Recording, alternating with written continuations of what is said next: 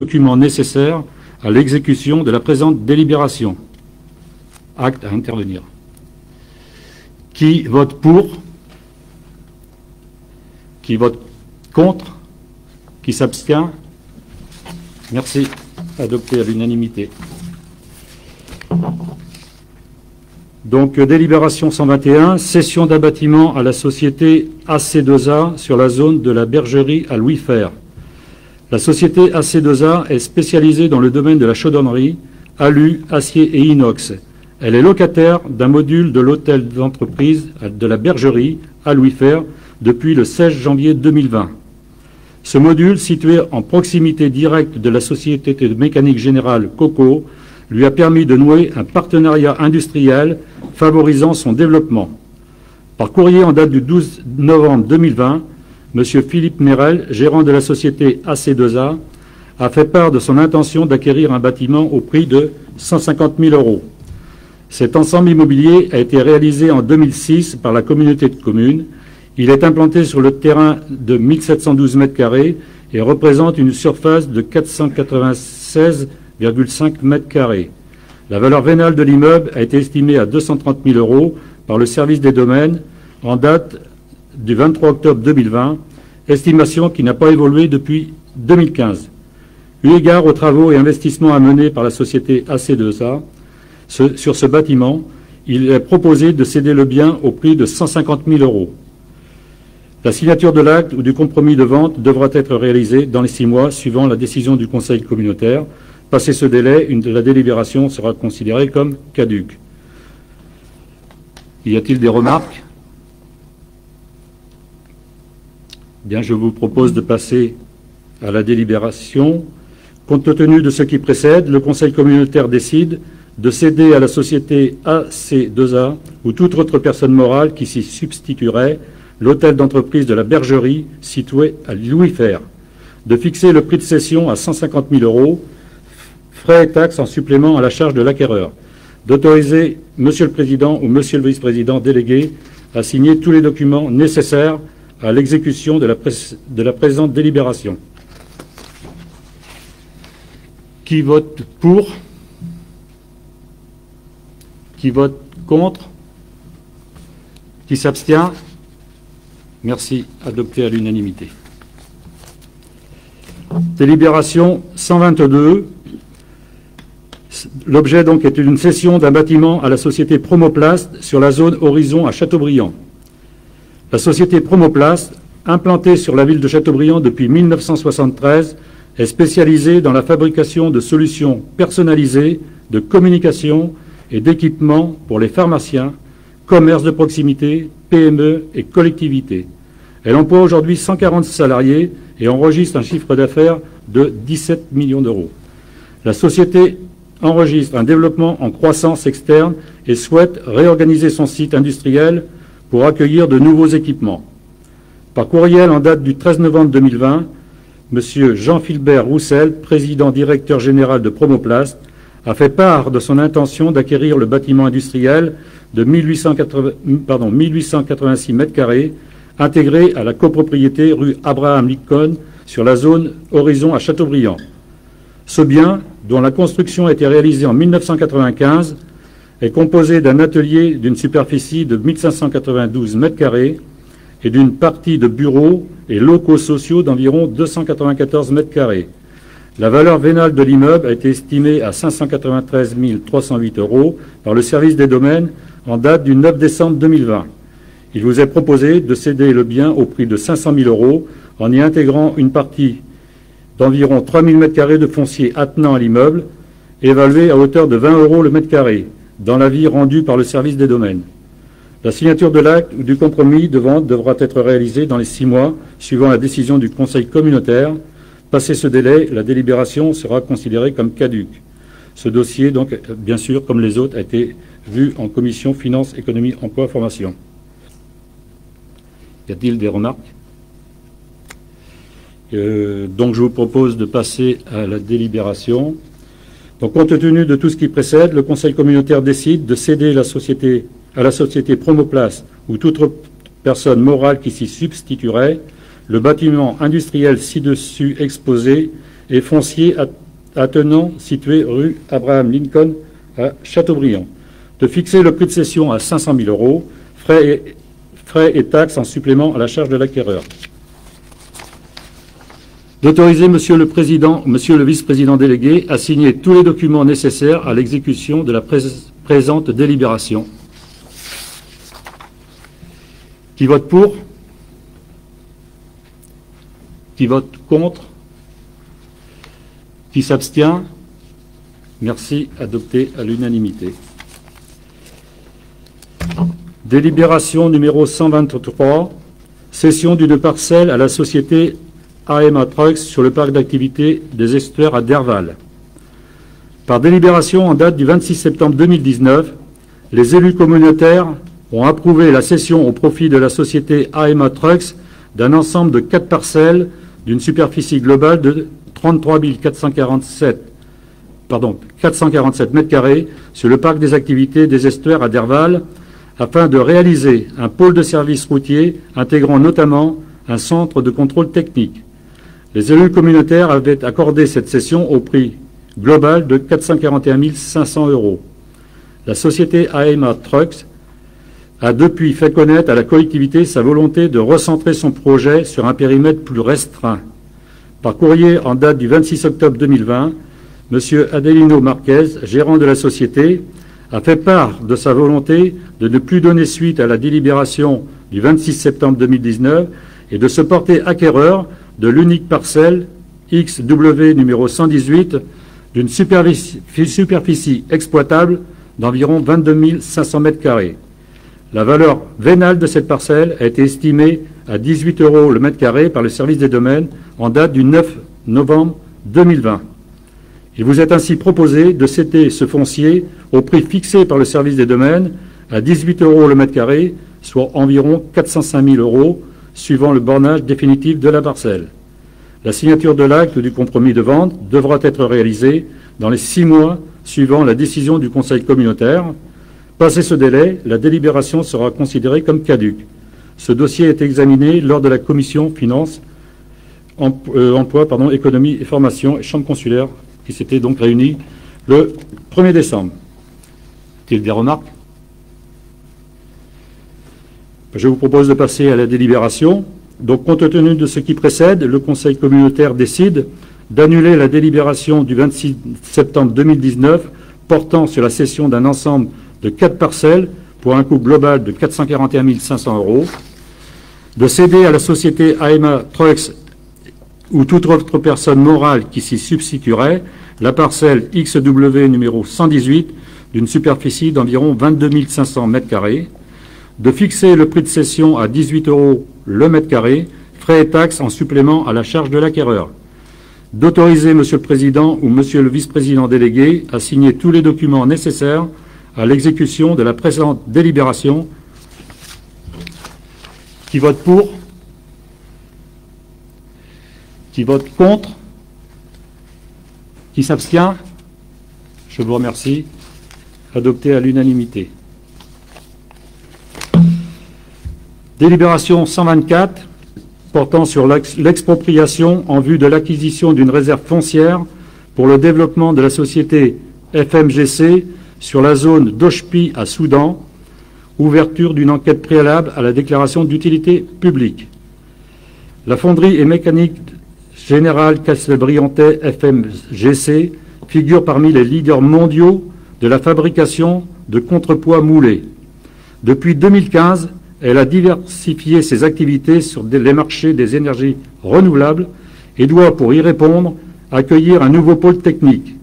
Ce site réorganiserait toutes les activités de maintenance, d'automatisme, de chaudonnerie et de développement industriel pour améliorer l'attractivité de l'entreprise et absorber les diversifications engagées suite à la crise sanitaire de la Covid-19. Deux ateliers seraient créés pour ce nouveau pôle, l'un de 450 mètres carrés affecté à la maintenance avec un pont roulant de 2 tonnes l'autre de 900 mètres carrés pour la chaudronnerie avec deux ponts roulants de 8 tonnes, des vestiaires, réfectoires, bureaux, salles de réunion, salles de formation, serait aussi prévu, permettant d'accueillir une cinquantaine de personnes. Une quinzaine d'emplois seraient créés pour ce projet qui permettrait également la formation d'une quinzaine de jeunes au métier de maintenance, mécaniciens, électromécaniciens, chaudronniers, automaticiens, favorisant la sauvegarde des savoir-faire. Cet investissement immobilier accueillerait également le magasin général de la société qui verrait sa superficie doublée passant de 1500 à 3000 m2, actuellement situé sur le parc d'expédition. En effet, pour la flexibilité nécessaire au marché des énergies marines renouvelables, le magasin actuel serait réaffecté en atelier finition peinture avec un potentiel d'une trentaine d'emplois créés. La FMGC a sollicité la collectivité par courrier en date du 26 juin 2020 pour l'accompagner à la mise en œuvre de ce projet. La communauté de communes souhaite ainsi acquérir une parcelle localisée sur la commune de Soudan, jouxtant la zone d'activité d'Oshpi, en vue de permettre à la société FMGC d'assurer ce développement. La parcelle numéro 7, section YV d'une superficie de 53 079 m2, est classée en zone à vocation économique dans le plan local d'urbanisme de la communauté de Soudan, appartenant à M. Albert Watts. Elle est déterminante pour mener à bien ce projet. Différents échanges ont été engagés auprès du propriétaire, lesquels sont restés sans réponse. Ainsi, compte tenu du très fort intérêt économique pour la communauté de communes attachée au développement de la société FMGC, il est désormais envisagé de déposer un dossier de déclaration d'utilité publique en vue d'une expropriation. La communauté de communes ne dispose pas d'autre choix que de recourir à cette procédure pour cause d'utilité publique afin de se rendre propriétaire de la dite parcelle. Au regard de ces éléments, il vous est proposé de solliciter auprès du préfet l'ouverture d'une enquête préalable à la déclaration d'utilité publique et d'engager le dossier joint comportant notamment une notice explicative, un plan de situation, le périmètre délimitant les immeubles à exproprier, l'estimation sommaire des acquisitions à réaliser, la présente délibération. Ce dossier est examiné dans les différentes instances communautaires du bureau, de la conférence des maires, réunis respectivement les 3 et 10 décembre dernier, ainsi que la commission finances, emploi, économie, formation et chambre consulaire, réunie le 1er décembre. Y a-t-il des observations, des remarques? Je vous propose de passer donc à la délibération. Compte tenu de ce qui précède, le Conseil communautaire décide d'approuver le lancement de la procédure et le dossier de déclaration d'utilité publique joint d'autoriser Monsieur le Président ou Monsieur le Vice-président délégué à demander au préfet l'ouverture dans l'enquête d'utilité publique, d'autoriser Monsieur le Président ou Monsieur le Vice-président délégué à engager les suites de la procédure et à signer tous les documents nécessaires à l'exécution de la présente délibération. Qui vote pour Qui vote contre Qui s'abstient Merci. Adopté à l'unanimité.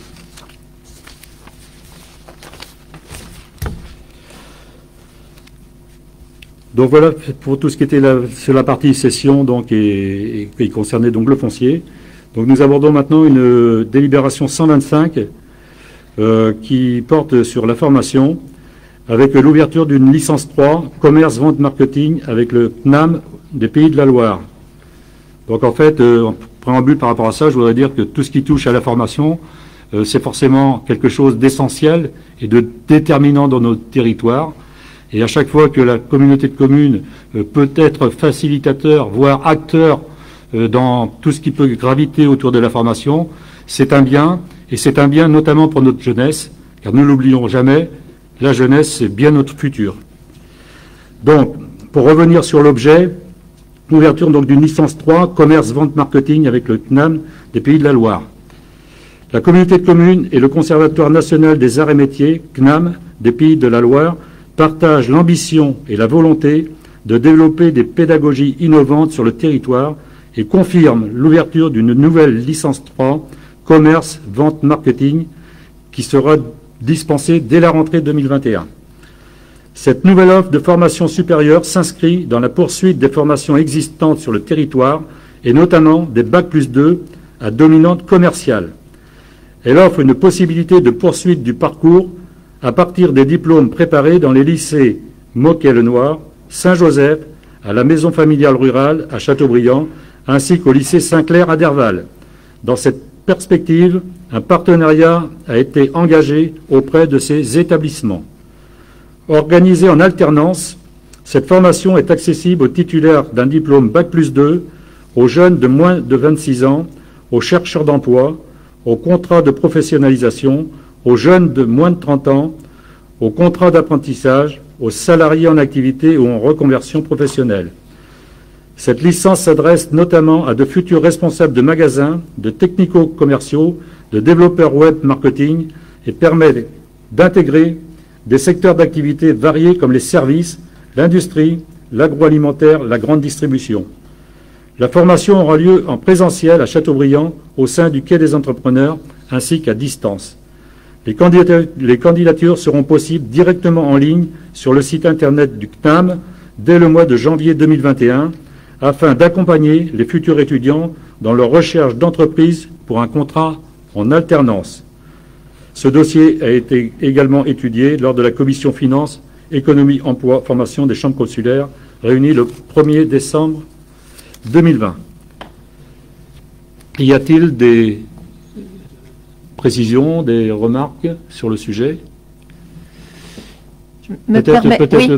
Oui. oui. je me permets de, préciser le, cadre du partenariat que nous avons avec euh, le CNAM, puisque vous le savez, notre territoire Châteaubriand d'Herval a été labellisé euh, cœur des territoires par le CNAM et nous avons obtenu cette labellisation au mois de septembre 2019 euh, et cette labellisation a été prononcé par le euh, l'enseignement, euh, le ministère de l'enseignement supérieur et de la, cohésion des, territoires. C'est bien la communauté de communes Châteaubriand d'Herval qui porte, qui a labellisé, alors que lors de cette labellisation, euh, tous les autres territoires c'était des communes. Et nous, nous avons décidé, hein, la communauté de communes, de porter Châteaubriand d'Herval. Oui, très bien. Merci Catherine pour ces précisions écoutez, je vous propose de passer au vote. Donc, décision, compte tenu de ce qui précède, le Conseil communautaire décide d'autoriser Monsieur le Président ou Monsieur le Vice-président délégué à signer tous les documents nécessaires à l'exécution de la présente délibération. Qui vote pour? Qui vote contre? Qui s'abstient? Merci. Adopté à l'unanimité. Eh bien là, je donne la parole à Catherine Merci. Campus connecté, convention territoriale d'exercice concerté des compétences relatives au soutien à l'enseignement supérieur, à la recherche et à l'innovation, qui fait suite à la délibération que vient de présenter euh, euh, Dominique. La communauté de communes est lauréate à l'appel à projet Campus Connecté, organisé par le ministère de l'Enseignement supérieur et de la Recherche pour son projet dénommé Formation, Université, Territoire, Unir Réussir, qui correspond à l'acronyme FUTUR, élaboré en partenariat avec l'Université de Nantes et avec le soutien du rectorat et de la région des Pays de la Loire. Ce campus connecté, premier labellisé en région des Pays de la Loire, va contribuer à l'égalité d'accès des jeunes du territoire aux études supérieures grâce à un enseignement universitaire à distance et un accompagnement méthodologique par un tuteur formé par l'Université de Nantes. Les jeunes pourront choisir une des 622 formations dispensées à distance par les 37, universités françaises. Inscrits administrativement à l'Université de Nantes, ils suivront les cours dans des salles équipées du Quai des entrepreneurs à Châteaubriand et bénéficieront d'un suivi personnalisé par un tuteur qui proposera aussi des temps d'échange collectifs entre étudiants, mais également avec les acteurs économiques. L'Université de Nantes leur donnera accès à ces ressources en ligne, à la bibliothèque universitaire et au service universitaire d'information et d'orientation. Au moins trois fois par an, un référent de l'Université de Nantes rencontrera les jeunes à Châteaubriand pour faire un point sur leur parcours et leur choix d'orientation. Des temps d'accueil sur le campus à Nantes seront également organisées. La communauté de communes recrutera le tuteur et équipera les salles du quai des entrepreneurs grâce à l'appui financier de la région des Pays de la Loire. Elle facilitera les échanges entre les jeunes et les entreprises du territoire pour encourager la mise en œuvre de projets tutorés. Elle contribuera également à créer une vie de campus en mobilisant ses services et les associations et organismes proposant des activités culturelles et sportives. L'objectif est d'accueillir 10 étudiants au démarrage, puis une progression à chaque rentrée pour atteindre un effectif de 50 étudiants à l'issue des cinq premières années. Un financement exceptionnel du programme d'investissement d'avenir de l'État sera accordé sur cinq ans à ce campus connecté au titre de l'action territoire d'innovation pédagogique pour le recrutement du tuteur et le partenariat avec l'Université de Nantes. Le plan de, financement prévisionnel est joint à la délibération sur 5 ans. Je ne vais pas le détailler, je vais donner la somme globale. Donc en dépenses 425 000 euros et en recettes 425 000 euros. Ce campus connecté va ainsi conforter l'offre de parcours d'enseignement supérieur sur le territoire intercommunal, sur le volet de la formation initiale en complément de la formation continue et en alternance proposée par le GRETA avec ses titres professionnels en industrie, transport logistique, services et le CNAM avec sa licence 3 commerce, vente, marketing dont nous venons de voir la délibération. Dans ce contexte, la région des Pays de la Loire chef de file de l'enseignement supérieur, propose à la communauté de communes d'être co-signataire d'une convention territoriale d'exercice concerté des compétences relatif au soutien à l'enseignement supérieur, à la recherche et à l'innovation. Cette convention, jointe en annexe à la présente délibération, va permettre le cumul des aides de la région et des départements. Elle sera également l'occasion de formaliser la possibilité de collaboration entre collectivités territoriales et établissements publics de coopération intercommunale qui ont sur leur territoire un site principal ou secondaire d'université ou qui souhaitent faciliter l'accès à une offre de formation supérieure, que ce soit en présentiel ou distanciel, à travers la création de lieux à l'image des campus connectés.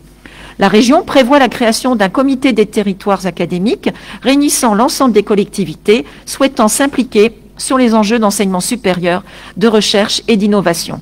Elle souligne également la possibilité offerte aux communautés de communes, d'agglomération, métropolitains et départements d'élaborer des schémas de développement universitaire. Ce dossier a été examiné lors de la commission finances, économie, emploi, formation et chambre consulaire réunie le 1er décembre dernier. Si nous regardons là la diapositive qui est qui est diffusé, ça permet de bien faire le point là où nous en sommes aujourd'hui sur notre territoire de l'offre de formation que nous proposons euh, à nos jeunes, mais aussi à nos salariés. Parce que nous allons, nous, notre territoire propose à la fois euh, la formation continue en alternance. On vient de voir ensemble euh, la lébalisation avec le CNAM à travers donc cette licence 3. Vous savez aussi que nous allons avoir sur notre territoire un centre départemental euh, CFA Greta. Et là aussi, ça correspond à de la formation continue ou en alternance. Donc, ça nous permet de répondre à la formation d'un certain public. Et donc, euh, l'autre élément qui euh, nous manquait et pour lequel nous avons été déjà sur les rangs et très vigilants et très proactifs, c'était la formation initiale. Alors, Qu'est-ce que cette formation initiale? Ce sont les formations euh, universitaires post-bac. Et lorsque nous avons euh, déposé euh, notre dossier, Châteaubriand d'Herval, je précise bien, auprès de cet appel à manifestation d'intérêt de l'État, eh bien, c'était pour permettre à nos jeunes du territoire d'avoir des formations universitaires. Vous avez vu dans la délibération, euh, c'est un panel de 622 formations qui seront euh, enseignées à partir de notre territoire, à travers 37 euh, universités françaises. Donc ça permet bien évidemment de rompre totalement les freins à la mobilité, de rompre totalement les freins financiers pour nos étudiants euh, des, études euh, universitaires.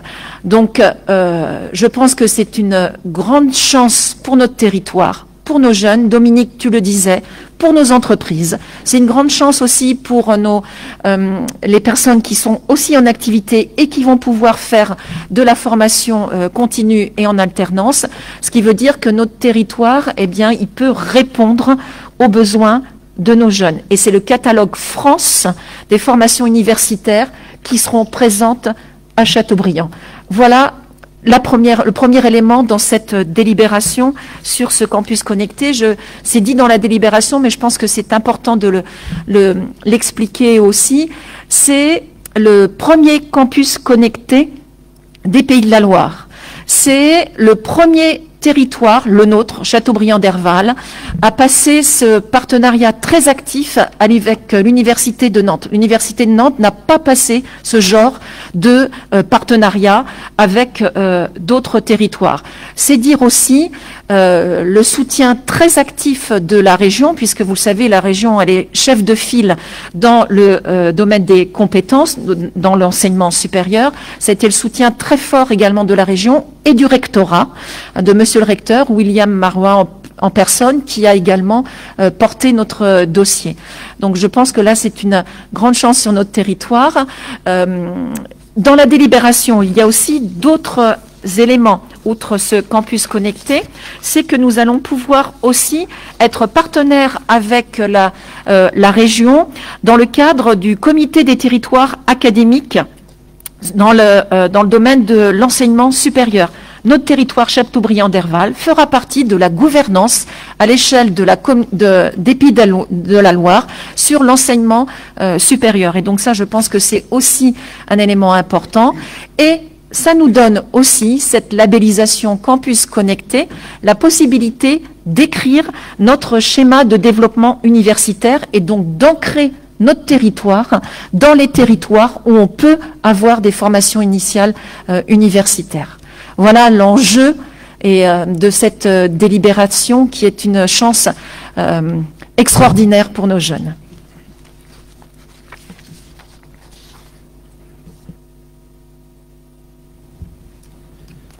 Donc, bah, on va voter, s'il te plaît, c'est tellement important.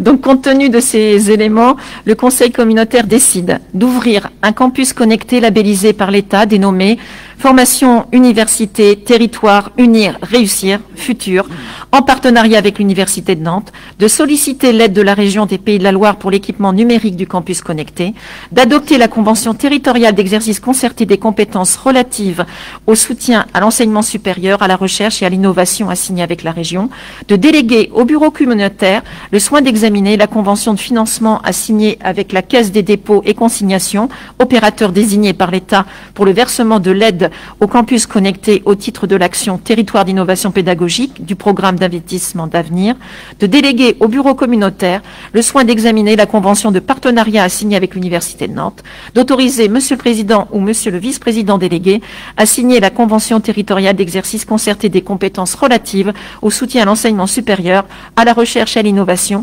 ainsi que tous les documents nécessaires à l'exécution de la présente délibération. Qui est pour? Qui est contre? S'abstient Unanimité, merci. Donc euh, nous allons parler maintenant de la délibération 127, euh, dont l'objet est la maintenance de l'éclairage public dans les zones et les biens intercommunaux par le syndicat départemental d'énergie de Loire-Atlantique. Par la délibération du 6 décembre 2016, l'ex-communauté de communes du Castelbriantais avait mis à disposition son patrimoine d'éclairage public au syndicat départemental d'énergie de Loire-Atlantique, le CIDELA.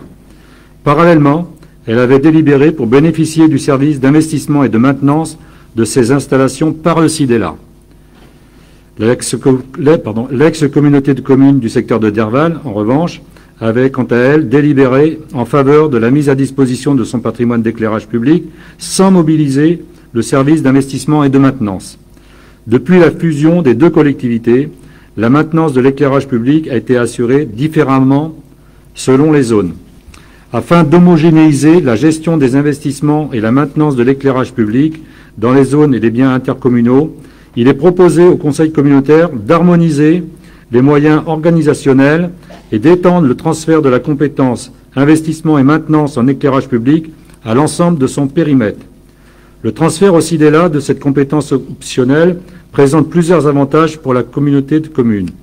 La rationalisation des coûts et la gestion du patrimoine, l'optimisation de la performance, performance énergétique, qualité de l'éclairage, sécurité des installations, coûts de fonctionnement, la mutualisation des moyens techniques et humains, l'amélioration de la planification et du service technique administratif des opérations réalisées, la mise en œuvre facilitée des préconisations du diagnostic des installations d'éclairage public, le bénéfice d'une expertise technique. Il serait proposé d'adhérer, comme pour l'ex-Castelbriantais, au niveau 3 de maintenance du CIDELA qui comprend les interventions nécessaires à la garantie d'un taux de panne simultané inférieur à 1%, un relamping des installations selon une occurrence de 4 ans, le réglage des, horloges suite au changement d'heure, les actions nécessaires au maintien des performances photométriques et énergétiques du parc, la mise en sécurité des installations sous 4 heures, la maîtrise de la demande d'énergie, la gestion administrative des sinistres, ce dossier été examiné également donc, dans la commission finances, économie, emploi et formation. Juste peut-être en complément par rapport à ça, euh, dire que les entreprises sont toujours effectivement, je dirais, euh, très attentives lorsqu'il y a effectivement des pannes au délai effectivement de réparation.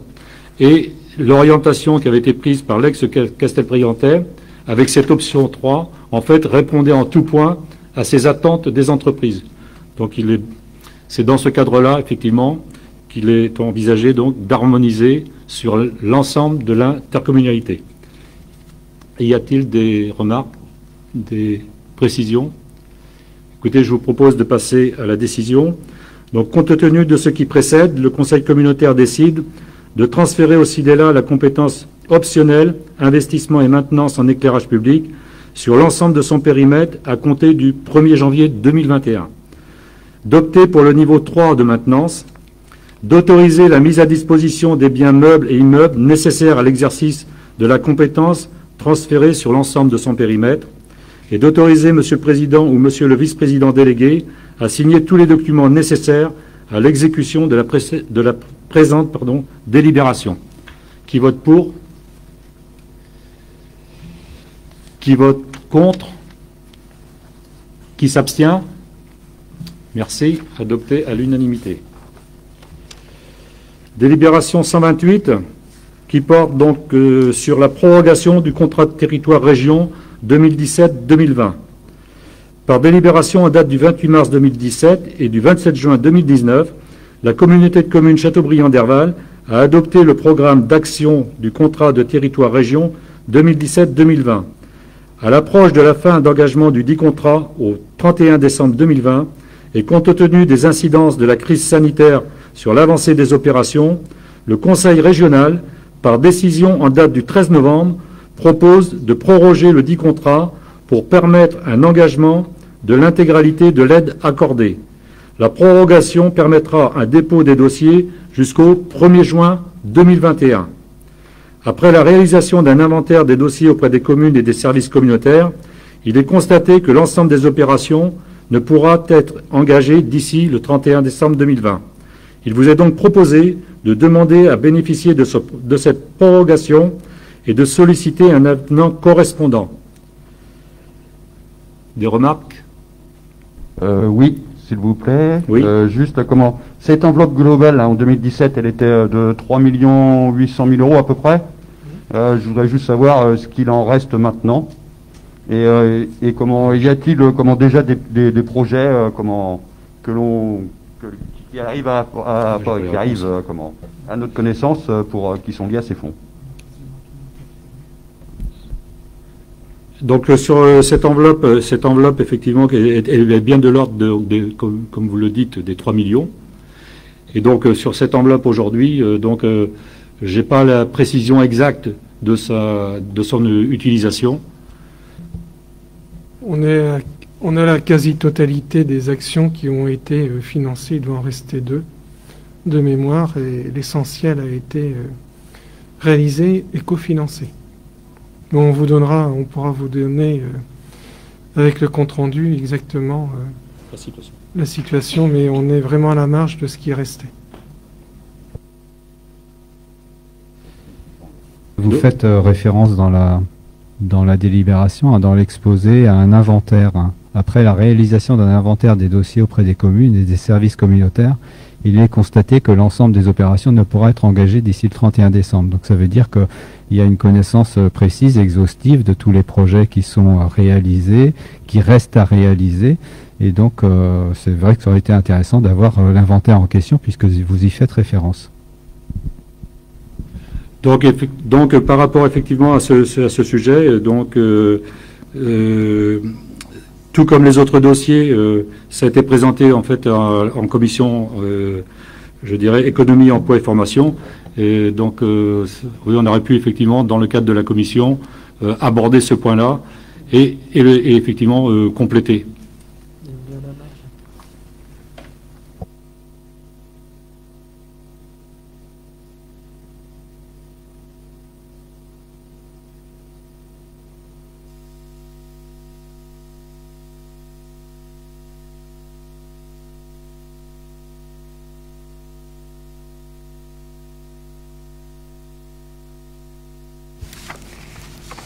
On va pouvoir euh, vous donner euh, les, précisions que vous souhaitez tout de suite.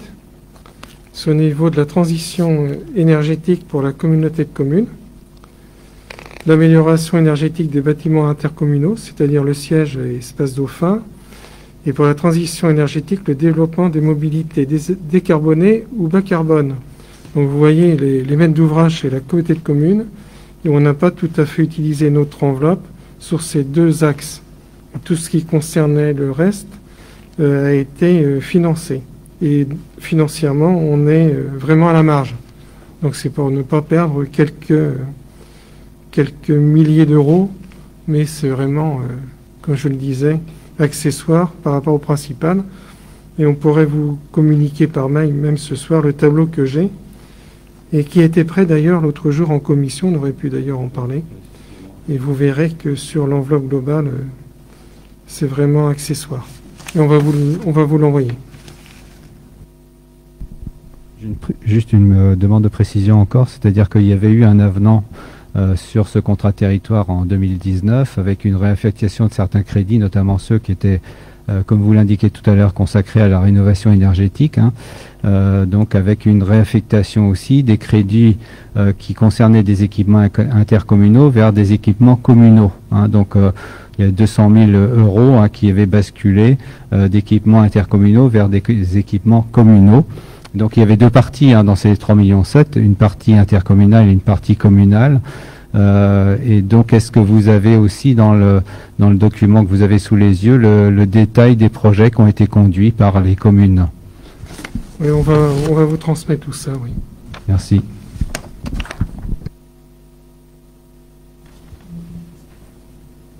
Bien, je vous propose donc de passer à la décision.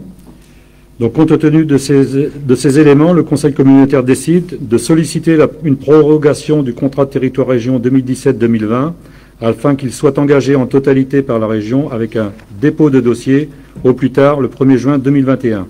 D'autoriser, Monsieur le Président, à signer l'avenant qui sera proposé par la région des Pays de Loire ainsi que tous les documents nécessaires à l'exécution de la présente délibération. Qui vote pour? Qui vote contre? Qui s'abstient? Merci. Adopté à l'unanimité. Donc délibération, donc euh, numéro... Euh, délibération 129. 129, pardon. Oui.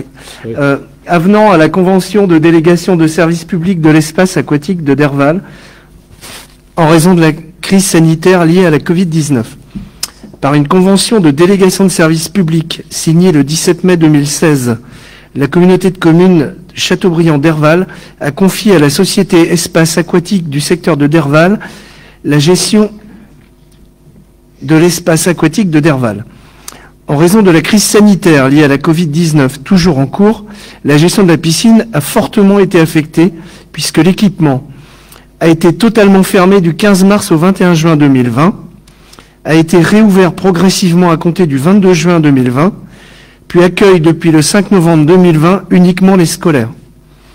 Cette crise sanitaire, qui constitue un événement imprévisible, a indéniablement eu un impact financier lié à la baisse de la capacité d'accueil des usagers, à des créneaux d'ouverture aux baigneurs revus à la baisse et à une différenciation de l'accueil des différents usagers, à des aménagements spécifiques pour gérer le flux des usagers, assurer la protection sanitaire des usagers et des personnes d'exploitation, à mobiliser du personnel supplémentaire pour assurer les opérations de désinfestation et de régulation des flux.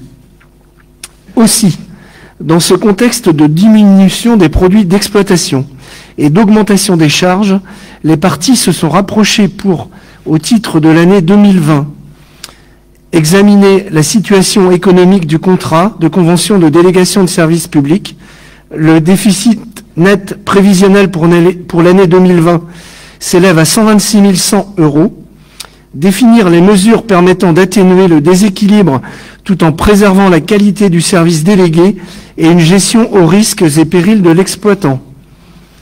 Compte tenu de la fermeture ou du nombre très restreint d'usagers, à l'exception de la période comprise entre juillet et octobre 2020, la collectivité renonce à recouvrer la redevance d'occupation domaniale prévue à l'article 25 de la Convention de délégation de services publics pour la période du 15 au 31 mars 2020 et pour les mois d'avril, mai, juin, novembre et décembre 2020, soit un montant total de 54 769 euros hors taxes. Pour les mois de juillet et d'août 2020, la collectivité maintient la redevance domaniale, mais prend en charge 50% du déséquilibre économique, soit un total de 23 180 euros. Donc le dossier a été examiné lors de la conférence des maires du 10 décembre dernier. Est-ce que vous avez des questions? Question technique. Hein. Euh, donc il y a deux volets hein, dans ce soutien donc aux prestataires. Euh, euh, le premier, il porte sur une, une réduction de la redevance hein, compte tenu des, des, périodes de fermeture. Et puis le deuxième porte sur une participation à la perte entre guillemets, donc qui est exprimée par le délégataire une perte qui est évaluée à 126 000 euros, hein, donc euh, d'après les informations que vous avez obtenues auprès du, délégataire. Et puis il est indiqué que finalement cette, euh, euh, cette participation à la perte, hein, ou cette réduction de la perte, je ne sais pas trop comment l'appeler, en tout cas, elle, elle concerne plutôt les mois de juillet et d'août. Hein. Mmh. et donc, vous participez à 50%, vous proposez de participer à 50% euh, donc de cette perte sur les mois de juillet et août. Et 50%, ça donne dans la délibération 23 000 euros. Donc ça veut dire que euh, 23 000 euros par deux, euh, 46 000 euros, euh, il y a 46 000 euros de pertes exprimées sur les mois de juillet et août sur un total de pertes de 126 000 au niveau de l'année. Oui, tout à fait. Oui. En fait, euh, ce qui se passe, alors on a pris 50% en charge euh, parce que le, public, finalement, euh, bien que ce soit ouvert, bien que les piscines étaient ouvertes, n'est pas revenu à plus de 50% de, du nombre qu'il y avait eu l'année passée. Donc on a pris en charge 50% du déficit de cette période-là. Alors ce qu'il faut savoir, c'est que quand on a une piscine qui est ouverte, même avec 50% du public, on a 100% du personnel. Donc, euh, euh, on a le déficit finalement se creuse. Euh, on ouvre, mais quand on n'a pas de public, le déficit se creuse puisqu'il n'y a pas les rentrées suffisantes d'argent pour payer tout le monde. Voilà. Donc, d'où le déficit plus important de, pendant cette période-là. J'ai une deuxième question un peu technique. C'est 54 000 plus 23 000 euh, sont compensés comment dans nos tableaux de dépenses? Alors, euh, je pense que on n'est pas le, seul, euh, enfin le, le seul service de la communauté de communes impacté par la Covid 19. Donc, je pense que je vais laisser Dominique répondre sur ce, cet aspect budgétaire. Il y, a, une DM, une DM là-dessus. Oui, oui, il y a une décision modificative ah pour le budget. oui, tout à fait si vous voulez, la négociation euh, s'est passée, je dirais, favorablement pour la collectivité, puisque c'était une négociation, il y avait deux parties. Et on a obtenu euh, d'annuler que la redevance d'occupation pour la fin de l'année.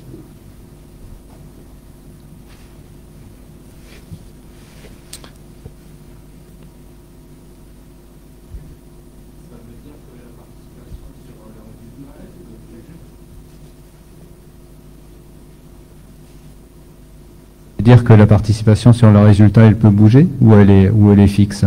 Non, non, ça veut Non. dire que on a négocié. Et donc ça s'arrêtera de toute manière à 23 000 concernant la participation sur le résultat. Exactement. Ok. pour 2020.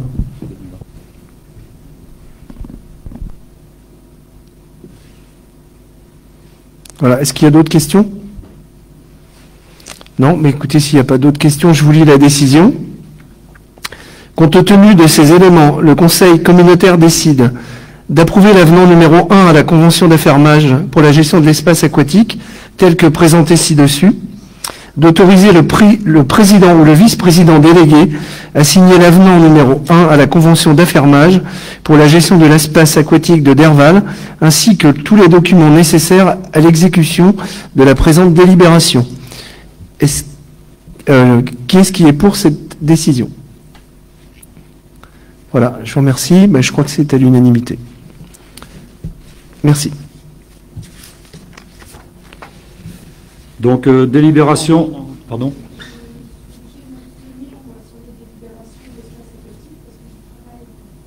Ah, excusez-moi. Donc, euh, Une abstention.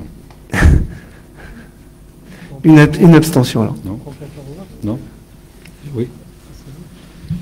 Par contre, euh, par contre, et Laurence, Laurence, je, je pense plutôt que si tu veux, c'est que tu participes pas au vote. Hein voilà. Oui, oui d'accord. oui. Donc il y a unanimité des votants. Merci.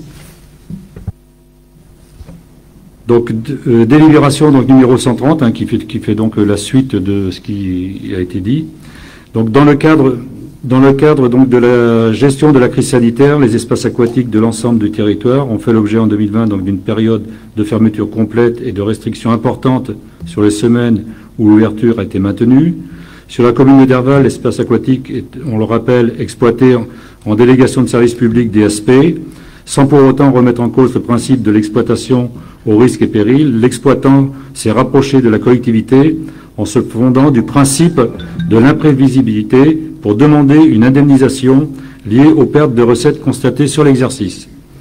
Les négociations donc engagées ont abouti à la conclusion d'un avenant à la convention DSP qui a fait l'objet donc d'une délibération distincte pré- présentée précédemment et qui prévoit donc les deux volets, le renoncement à la redevance d'occupation du domaine public pour les périodes de fermeture de l'équipement et une participation à la couverture des déficits pour les périodes d'exploitation en mode dégradé.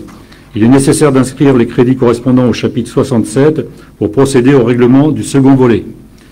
Par ailleurs, il convient de procéder à des réajustements de crédits sur les chapitres 20 et 23 pour tenir compte des dépenses imprévues au moment du vote du budget ou du transfert de crédits entre le chapitre 23 et le chapitre 20. Il s'agit des études relatives aux équipements sportifs et à la passerelle de franchissement des voies SNCF, qui ont fait l'objet d'une présentation en conseil communautaire de la plateforme des producteurs locaux et e-boutiques subventionnée par la Banque des territoires à hauteur de 80% et de l'informatisation du réseau de lecture publique dont les crédits étaient prévus dans un autre chapitre. Donc, en conséquence, il vous est proposé de modifier les crédits inscrits au budget 2020, voté le 13 février 2020. Et donc là, vous avez les tableaux qui, en fait, retracent euh, l'impact chiffré de ce que je viens de vous exposer.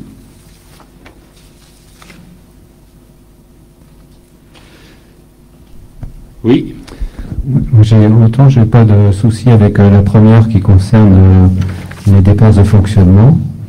oui. Euh, par contre, avec les dépenses d'investissement, un peu plus, et notamment sur la partie euh, du chapitre ou de l'article 2051 de 50 400, euh, qu'est-ce que c'est que ces 50 400 Alors, ces, ces 50 400 correspondent en fait à des logiciels, donc des logiciels qui ont été utilisés justement dans le cadre du e-boutique, et également donc euh, pour des logiciels pour la plateforme les fournisseurs locaux, et on a également des logiciels pour la mise en réseau pub- public de- des bibliothèques.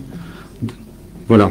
Donc ces 50 400 sont inhérents en fait à ces trois actions plutôt informatiques au final, hein, sur ces trois thématiques.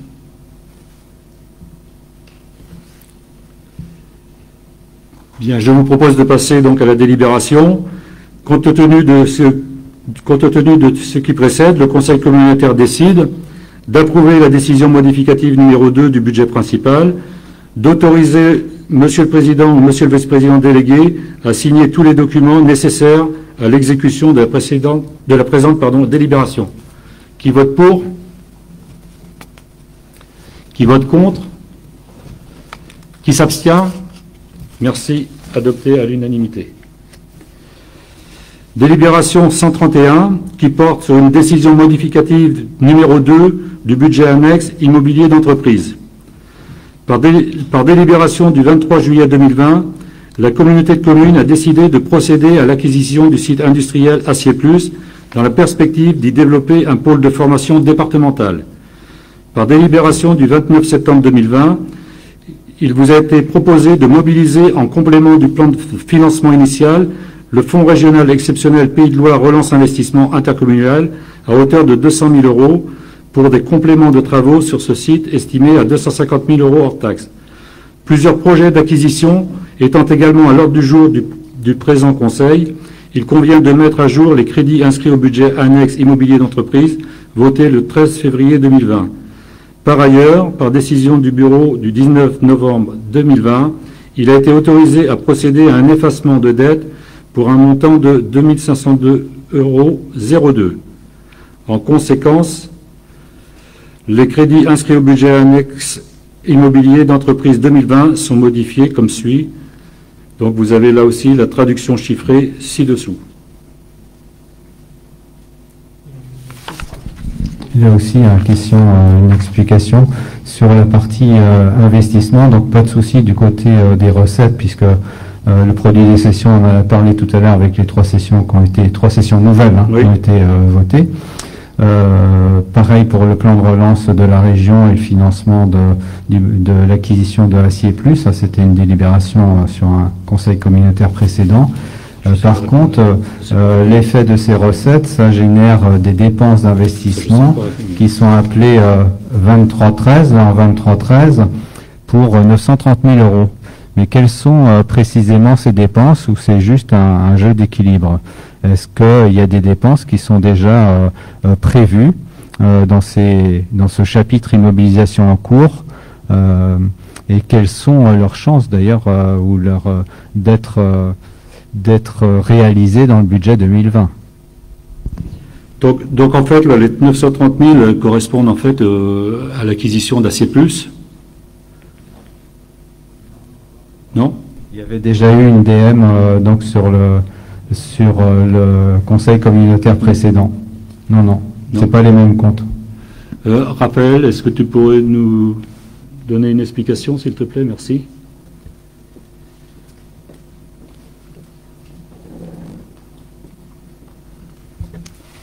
Bonsoir.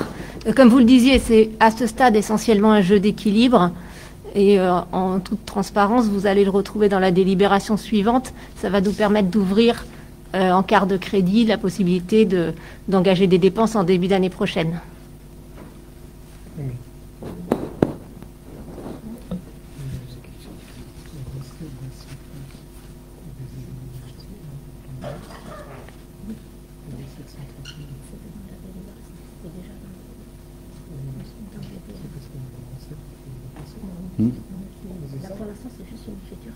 Hmm. Si, si, c'est bien ce que disait euh, Dominique, c'est une écriture comptable, il faut équilibrer. À partir du moment où on a des, recettes, il faut mettre des dépenses. En face, c'est une écriture comptable. On a eu de la région 200 000 euros, les produits de cession c'est 130, c'est une écriture comptable classique.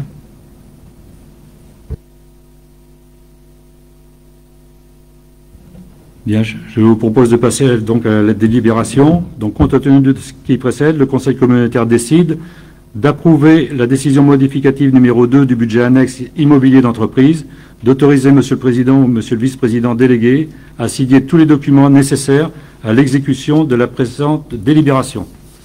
Qui vote pour? Qui vote euh, contre? Qui s'abstient? Merci.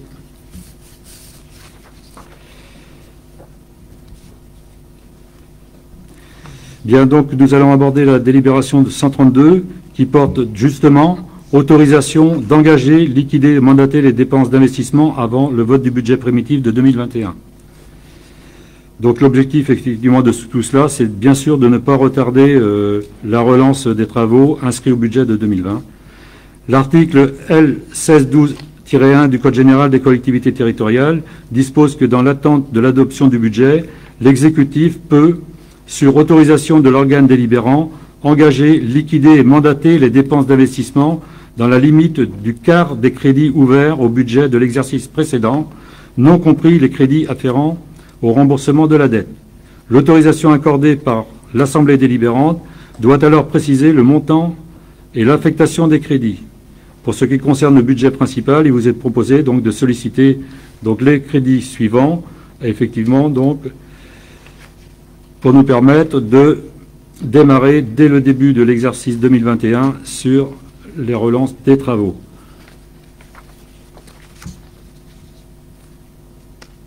Donc je ne vais pas passer dans le détail tous les tableaux. Pardon? Ah oui, tu peux dire un mot. Donc cette délibération est importante puisque contrairement aux années précédentes, on n'a toujours pas euh, voté notre débat d'orientation budgétaire. Par définition, euh, pas le budget non plus. Donc euh, cette année, vu les circonstances, on a décalé en début d'année prochaine le DOM et le budget. D'où cette délibération pour nous permettre de fonctionner et de continuer à investir. D'ailleurs, ça rentre exactement aussi en ligne avec ce que l'on peut vivre aussi dans nos, diverses communes, hein, où nous procédons de la sorte dans nos tout derniers euh, euh, conseils municipaux. Donc la décision, compte tenu de ce qui précède, le Conseil communautaire autorise Monsieur le Président ou Monsieur le Vice-président délégué à engager, liquider et mandater les dépenses d'investissement du budget principal et des budgets annexes, SITCOM, TEOM, ordures ménagères, REOM, immobilier d'entreprise et office de tourisme intercommunal dans la limite des crédits indiqués ci-dessus. Donc vous avez pu le visualiser. Qui vote pour? Qui vote contre? Qui s'abstient? Merci, adopté à l'unanimité. Décision numéro 123, 133, pardon, qui concerne effectivement des tarifs des services intercommunaux à compter du 1er janvier 2021. Donc, à compter du 1er janvier 2021, il est proposé de créer ou de modifier les tarifs suivants. Espace boutique de l'Office du tourisme intercommunal, en complément des articles déjà exposés au sein de l'espace boutique de l'Office de tourisme intercommunal, il vous est proposé la mise en vente d'articles supplémentaires décrits ci-dessous. La médaille touristique pour un prix unitaire de 2 euros le topo guide intitulé La Loire-Atlantique à pied, édition La Française de randonnée, pour un prix unitaire de 14,90 euros.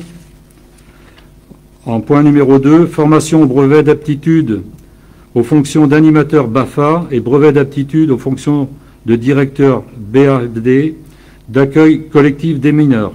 Chaque année, la communauté de communes organise des formations BAFA, BAFD à destination des jeunes et des professionnels pour accompagner la professionnalisation de ces derniers et ainsi améliorer la qualité de service aux familles de l'ensemble des gestionnaires communaux et associatifs du territoire. La Caisse d'allocation familiale rembourse désormais aux stagiaires résidant en Loire-Atlantique 300 euros à l'issue de la formation, sans compter les 60 euros déjà pris en charge dans le cadre des IPAS. Compte tenu de ces éléments, il vous est proposé de fixer le coût de la formation refacturée aux stagiaires à 180 euros afin que cette dernière soit désormais intégralement remboursée. Cela contribuerait à ce que chaque stagiaire termine sa formation au plus vite, à augmenter le nombre de candidats à la formation sur notre territoire, mais également pour nos campagnes de recrutement. Le point numéro 3, la maison du répit.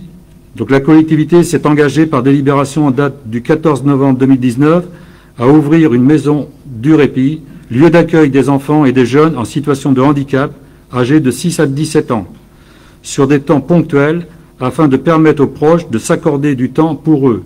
il est envisagé de créer des tarifs semblables à ceux pratiqués par le centre de loisirs de la Borderie sur la base du quotient familial dans un souci d'équité et de clarté pour les familles. Point numéro 4. Espace aquatique de Derval. Conformément aux termes de la convention d'affermage pour la gestion de l'espace aquatique de Derval, qui lie la communauté de communes à la société Prestalis, cette dernière a la possibilité de reviser annuellement les tarifs d'accès à cet équipement selon une formule établie dans la dite convention. La société Prestalis sollicite la mise en œuvre d'abonnements mensuels plus souples que ceux actuellement pratiqués et surtout plus accessibles pour le grand public dans cette période d'incertitude économique. Donc Silver, accès illimité à l'espace aquatique, engagement minimum donc de trois mois avec tacite reconduction mensuelle au-delà, passe nominative 17,50 euros. Silver Plus, accès illimité à l'espace aquatique, bien-être année. Engagement minimum de trois mois avec tacite reconduction mensuelle au-delà, passe nominative 36,50. La Gold, accès illimité à l'espace aquatique, espace détente, aquagym, à volonté, selon disponibilité. Engagement minimum de trois mois avec tacite reconduction mensuelle au-delà, passe nominatif 42 euros. Platinium, accès illimité à l'espace aquatique, bien-être, aquagym, à volonté, selon disponibilité, aquabiking à l'année. Engagement minimum de trois mois avec tacite reconduction mensuelle au-delà, passe nominatif 53 euros. Point 5, réseau de lecture publique. En ce qui concerne le réseau de lecture publique, il est proposé que le remplacement d'une carte perdue soit désormais gratuit compte tenu de la complexité de la procédure pour une vingtaine d'usagers concernés par an. Point numéro 6, aire d'accueil des gens du voyage. Donc devant la complexité à recouvrer les recettes auprès des usagers de l'aire d'accueil et les dégradations récurrentes portées au compteur de fluide, il vous est proposé de passer à une facturation forfaitaire intégrant les consommations de fluide qui recueillent plus facilement l'adhésion des utilisateurs de l'air et qui présente par ailleurs une importante simplification de gestion. Proposition de passer à un forfait hebdomadaire de 30 euros par semaine par emplacement. Point numéro 7. Vélo assistance électrique, location longue durée sur les communes. Suite à une récente modification tarifaire, les nouvelles observations des habitants et des usagers conduisent à proposer d'offrir la possibilité d'un renouvellement consécutif de la location à la semaine à 10 euros, à la quinzaine de jours à 15 euros pour les vélos à assistance électrique distribués dans les 25 mairies autour de Châteaubriand si aucun autre usager n'est sur liste d'attente.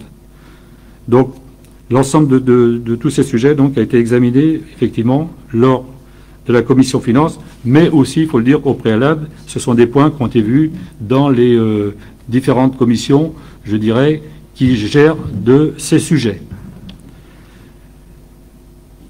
Remarque Je vous propose de passer à la décision. Compte tenu de ce qui précède, le Conseil communautaire décide d'adopter les tarifs ci-dessus mentionnés pour une application à compter du 1er janvier 2021 d'autoriser Monsieur le Président ou Monsieur le Vice-président délégué à signer tous les documents nécessaires à l'exécution de la présente délibération. Qui vote pour? Qui vote contre? Qui s'abstient? Merci. Adopté à l'unanimité. Bien, je vous propose euh, de passer au volet personnel, administration générale et mutualisation. Euh, concernant l'administration générale, euh, une première délibération, création et composition de la commission locale d'évaluation des charges transférées. À la suite du renouvellement du Conseil communautaire et en application du Code général des impôts, il y a lieu de créer une commission locale chargée d'évaluer les transferts entre les communes et l'intercommunalité, qui est composée des membres des conseils municipaux des communes concernées. Chaque conseil municipal doit disposer d'un représentant au sein de cette instance. Les communes ayant procédé à la désignation de leurs représentants, il vous est donc proposé d'approuver la composition de la commission locale d'évaluation des charges transférées, qui est jointe en annexe à la présente délibération et que je vais rappeler. Pour la commune de la Chapelle-Glin, M. Michel Poupard. Pour la commune de Châteaubriand, M. Rudy Boisseau. Pour la commune de Derval, M. Dominique David. Pour la commune d'Herbray, Mme Isabelle Dufour-Boucher. Pour la commune de Fercé, M. Alain Le Tolganec. Pour la commune du Grand Auvernais, M. Sébastien Crossoir. Pour la commune d'Issé, M. Jean-Marc Laloué. Pour la commune de Gence, Mme Marie-Irène Bouin. Pour la commune de Juigné-des-Moutiers, Mme Brigitte Maison. Pour la commune de Louis-Fer, M. Alain Guillois. Pour la commune de Lusanger, M. Yves Fromentin. Pour la commune de Marsac-sur-Don, M. Hervé de Trogoff. Pour la commune de la Melleraie de Bretagne, Mme Marie-Pierre Guérin. Pour la commune de Moix-dans-la-Rivière, M. Patrick Galivelle. Pour la commune de Mouet, M. Yvan Ménager. Pour la commune de Noyal-sur-Bru, Mme Édith Marguin. Pour la commune de Petit-Auvernais, M. Guy Delaunay. Pour la commune de Rouget, M. Christian Gauthier. Pour la commune de Ruffinier, M. Louis Simoneau. Pour la commune de Saint-Aubin-des-Châteaux, M. Daniel Rabu. Pour la commune de Saint-Julien-de-Vouvante, M. Jean-Michel Chevalier. Pour la commune de Saint-Vincent-des-Landes, M. Alain Rabu. Pour la commune de Sion-les-Mines, M. Bruno Debré. Pour la commune de Soudan, M. Jean-Claude Déguet. Pour la commune de Soulvache, Mme Fabienne Jouan. Et pour la commune de Villepot, M. Philippe Dugraveau. Ce dossier a été examiné lors de la commission personnelle, administration générale et mutualisation qui s'est déroulée le 4 décembre dernier. Est-ce qu'il y a des remarques ou des observations? Oui. C'est une observation que je vous avais déjà faite euh, lors de cette commission concernant la parité. Hein, je pense qu'aujourd'hui, cette parité est, à l'ordre du jour euh, dans le, débat public. Et je connais la difficulté, que ce sont les, chaque commune qui ont désigné, mais d'essayer de mettre des mécanismes euh, pour forcer un petit peu cette parité, puisque si on regarde la, liste de cette commission, on est à moins de 25% de femmes représentées dans cette commission. Et je pense que je connais la difficulté, surtout pour ceux qui ont peu de représentants euh, à la communauté de communes, mais je pense qu'il y aura des efforts à faire euh, dans ce sens. Bien. On prend acte naturellement de votre observation, mais en rappelant, euh, comme on a déjà eu l'occasion de l'évoquer, hein, que les désignations sont faites à l'échelon des conseils municipaux et que c'est dans ce cadre-là que les discussions peuvent avoir lieu sur la question de la parité, qui est effectivement importante et personne ne, disconviendra de l'intérêt qu'il y a à aller vers cette parité. Après, ce sont des choix qui sont euh, arrêtés, alors par défaut ou pour d'autres raisons, à l'échelon des collectivités. Rien n'empêcherait aux collectivités de fournir le nom d'un homme et d'une femme et de définir euh, par tirage au sort, par exemple. Alors je connais les difficultés si certains sont adjoints et souhaitent lier cette activité euh, à leur fonction d'adjoint dans les communes, mais ce serait euh, aller dans la bonne direction, me semble. Bien. Nous passons à la délibération concernant les inscriptions complémentaires au sein des commissions permanentes. Euh, par délibération en date du 4 juin, le Conseil communautaire a décidé la création de 14 commissions thématiques permanentes rattachées aux différentes vice-présidences, à savoir la commission environnement, la commission culture, la commission agriculture et foirail, la commission prévention et gestion des déchets, la commission marché public et travaux, la commission finance, économie, emploi, formation et chambre consulaire, la commission personnelle, administration générale et mutualisation, la commission solidarité, la commission santé, la commission sport et loisirs, la commission mobilité, la commission petite enfance et jeunesse, la commission équilibre et développement du territoire, habitat et urbanisme, la commission tourisme et communication. Par délibération du 24 juin, le Conseil communautaire a décidé après avoir laissé le temps à chaque maire de consulter les membres de son équipe municipale sur leur intérêt à participer au fonctionnement des dites commissions pour arrêter leur composition. Depuis, Alors, de nouvelles demandes ont été formulées auprès de l'administration générale de la communauté de communes pour intégrer les commissions permanentes.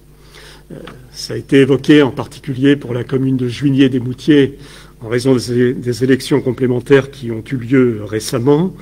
Et ces euh, désignations donc complémentaires sont les suivantes, je les rappelle.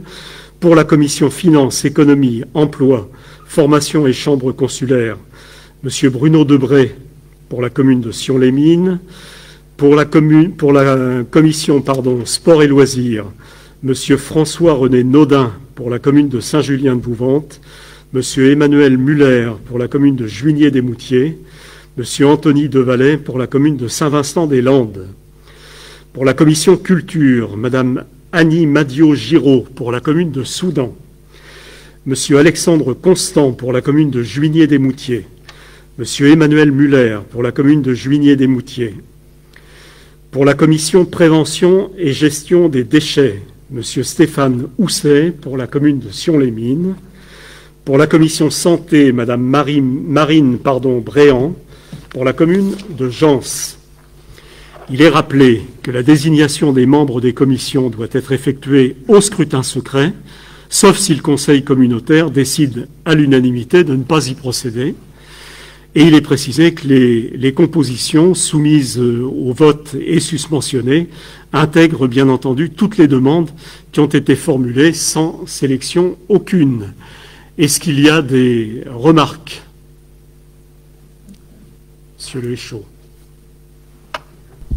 Alors, je, sors légèrement du, cadre, mais comme on parlait des commissions, en date du 24 juin 2020, il avait été énoncé la possibilité d'une 15e euh, commission. Euh, j'avais alors évoqué la possibilité de créer une commission euh, sûreté-sécurité. Il m'avait été alors répondu à l'époque que la réunion des maires en discuterait, et depuis cette date, finalement, il n'y a eu aucun retour fait euh, à ce conseil communautaire. Donc j'aurais voulu avoir une, réponse sur ce sujet. Alors c'est un thème que vous aviez effectivement évoqué. Euh, dans le cadre du conseil communautaire qui se réunit ce soir, je me dois de vous rappeler le règlement intérieur de notre Assemblée qui prévoit les modalités qui sont prévues à la fois pour les questions écrites et pour les questions orales. S'agissant des questions orales, je rappelle euh, que ces questions peuvent intervenir effectivement en fin de séance, en particulier, sous réserve, express, qu'elles aient été euh, présentées de manière écrite trois jours francs avant la réunion du Conseil. Donc je ne peux que, sur le plan de la règle, et ça me paraît important de le faire, vous rappeler naturellement les, dispositions de notre, règlement intérieur qui fixe tout de même euh, le cadre du fonctionnement de notre Assemblée. Et de ce point de vue-là, euh, vous aurez toute l'attitude, si vous le souhaitez, de poser par écrit cette même question pour qu'elle soit évoquée lors d'une prochaine séance. Tout, à fait, je le note bien, sauf que j'avais déjà quand même évoqué ce sujet lors de la commission, donc je pensais que ça serait rentré dans le, cadre de la réunion de ce soir.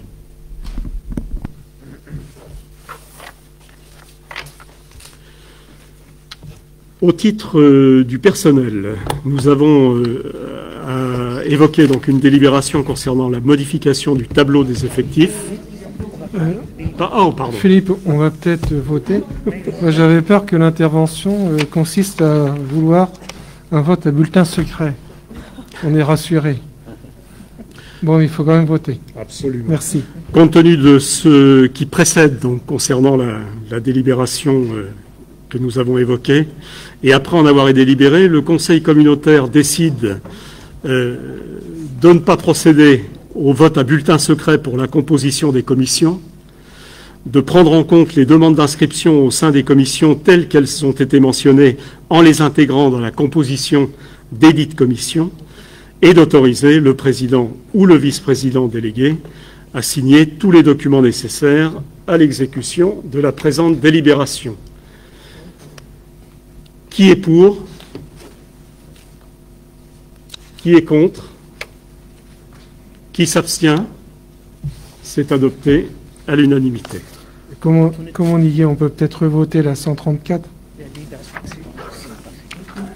Oui, t'as raison. On n'a pas J'avais- voté. j'avais pas fait. Merci. La commission d'évaluation de charges, il semblerait 135. qu'elle était exposée mais elle n'a pas été votée. 134. La tro- 134, la clé. Alors, où est-ce qu'elle est, la clé? Je l'ai pas. Ah, elle est là. Non, elle n'est pas là. Tiens, tiens, tiens, tu peux le lire. hein. Vas-y, décision. Bien, nous reprenons la, la décision concernant donc la délibération 134. hein. Compte tenu de création et composition de la commission locale d'évaluation des charges transférées, compte tenu de ce qui précède, le Conseil communautaire approuve la création et la composition de la commission locale d'évaluation des charges transférées, qui sera composée d'un représentant par commune, désigné par chaque conseil municipal, conformément à la liste jointe en annexe. Qui est pour? Qui est contre? Qui s'abstient? Merci.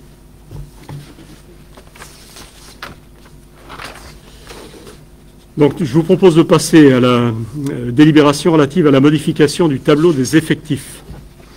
Il est proposé de mettre à jour le tableau des effectifs pour euh, les besoins suivants afin de conforter l'action du centre socio-culturel intercommunal. Il est prévu de créer un poste d'adulte relais. Cette création de poste permettrait la mise en place d'actions d'accueil et de médiation sociale afin d'animer l'équipement de manière régulière et hebdomadaire en direction des habitants du territoire.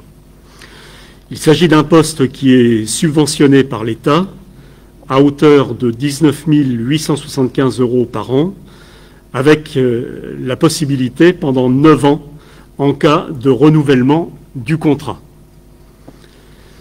Par ailleurs, la communauté de communes souhaite mettre en place un lieu d'accueil enfants-parents. L'objectif de ce projet est de proposer aux familles un espace convivial qui accueille de manière libre de jeunes enfants de moins de 6 ans, accompagnés de leurs parents ou d'un adulte référent, ou des futurs parents, encadrés par un binôme de professionnels de la petite enfance, deux éducateurs de jeunes enfants représentant un temps plein et demi en équivalent temps plein. Dans la perspective de la création de ce lieu d'accueil, il est envisagé de créer, dans un premier temps, un poste d'éducateur de jeunes enfants de deuxième classe à temps complet. La CAF finance ce poste de coordinateur parentalité à hauteur de 9 890 euros par an pendant la durée du contrat enfance-jeunesse actuel, soit jusqu'en 2022. Également, un éducateur de jeunes enfants de deuxième classe au sein du relais petite enfance, poste à 31 heures, a souhaité muter dans une autre collectivité. Le poste laissé vacant a été pourvu en interne par un agent à temps complet qui a fait une demande de temps partiel à 80%, ce qui permet de conserver le nombre de TP constant. Afin de pouvoir, remplacer cet agent, il est proposé de créer un poste d'éducateur de jeunes enfants de deuxième classe à temps complet. Dans le cadre également de la réorganisation du réseau de, lecteurs- de lecture publique, il a été convenu de créer un poste de médiathécaire en charge de la coordination des accueils. L'offre d'accueil a donc été diffusée sur le grade d'assistant du patrimoine. Le candidat retenu étant titulaire du grade d'assistant du patrimoine principal de deuxième classe et aucun poste correspondant n'étant vacant au tableau des effectifs, il convient de créer un poste sur ce grade. Le conseil départemental prendra à charge ce poste à hauteur de 22 200 euros pour l'année de préfiguration du projet culturel de territoire, soit environ 60% du coût la première année, et pour les années suivantes, la prise en charge sera de l'ordre de 40% la deuxième année et 20% pour la troisième année. Également, la DRAC, la Direction régionale des affaires culturelles, peut prendre en charge 50% des coûts annuels de personnel liés à l'extension des horaires d'ouverture des médiathèques tenues par des professionnels. Également, suite à sa labellisation par le ministère de l'Enseignement supérieur, de la Recherche et de l'Innovation, la communauté de communes euh, a mis en place, on l'a évoqué tout à l'heure largement, euh, Catherine en a parlé, Campus Connecté en partenariat avec l'Université de Nantes. Et c'est dans ce cadre qu'il vous est proposé de créer un poste d'attaché territorial à temps complet afin de pouvoir recruter un tuteur chargé de l'accompagnement méthodologique et du coaching individuel et collectif des étudiants inscrits à ce campus connecté. Il s'agit d'un poste qui est financé pour une durée de 5 ans par la CDC, par la Caisse des dépôts et consignations, à hauteur de 50 000 euros par an. Par ailleurs, suite à l'avis de la CAP, de la Commission administrative paritaire, il est envisagé de faire bénéficier plusieurs agents d'un avancement de grade. Pour ce faire, il vous est proposé de créer les postes suivants. Deux postes d'éducateurs de jeunes enfants de classe exceptionnelle à temps complet, un poste d'agent de maîtrise principal à temps complet, un poste d'adjoint technique principal de deuxième classe à temps complet, deux postes d'adjoint du patrimoine principal de première classe à temps complet, un poste de rédacteur principal de première classe à temps complet, un poste d'assistant de conservation du patrimoine principal de première classe à temps complet, un poste d'animateur principal de deuxième classe à temps complet, un poste d'adjoint administratif principal de première classe à temps non complet de 30 heures, un poste d'auxiliaire de puériculture principale de première classe à temps complet. Enfin, il est proposé de créer un poste d'adjoint technique à temps non complet de deux heures et demie afin de pérenniser le poste d'agent d'entretien de la médiathèque de Louis Fer. Il est à noter qu'en cas de recrutement infructueux de fonctionnaires, les postes évoqués dans les projets ci-dessus peuvent être pourvus par des agents contractuels dans les conditions qui sont déterminées par euh, la loi du 26 janvier 1984. Ils sont alors rémunérés en fonction de leur expérience, par référence à la grille des grades qui ont été mentionnés précédemment. Les postes non pourvus seront euh, supprimés lors d'un prochain conseil communautaire après avis du comité technique.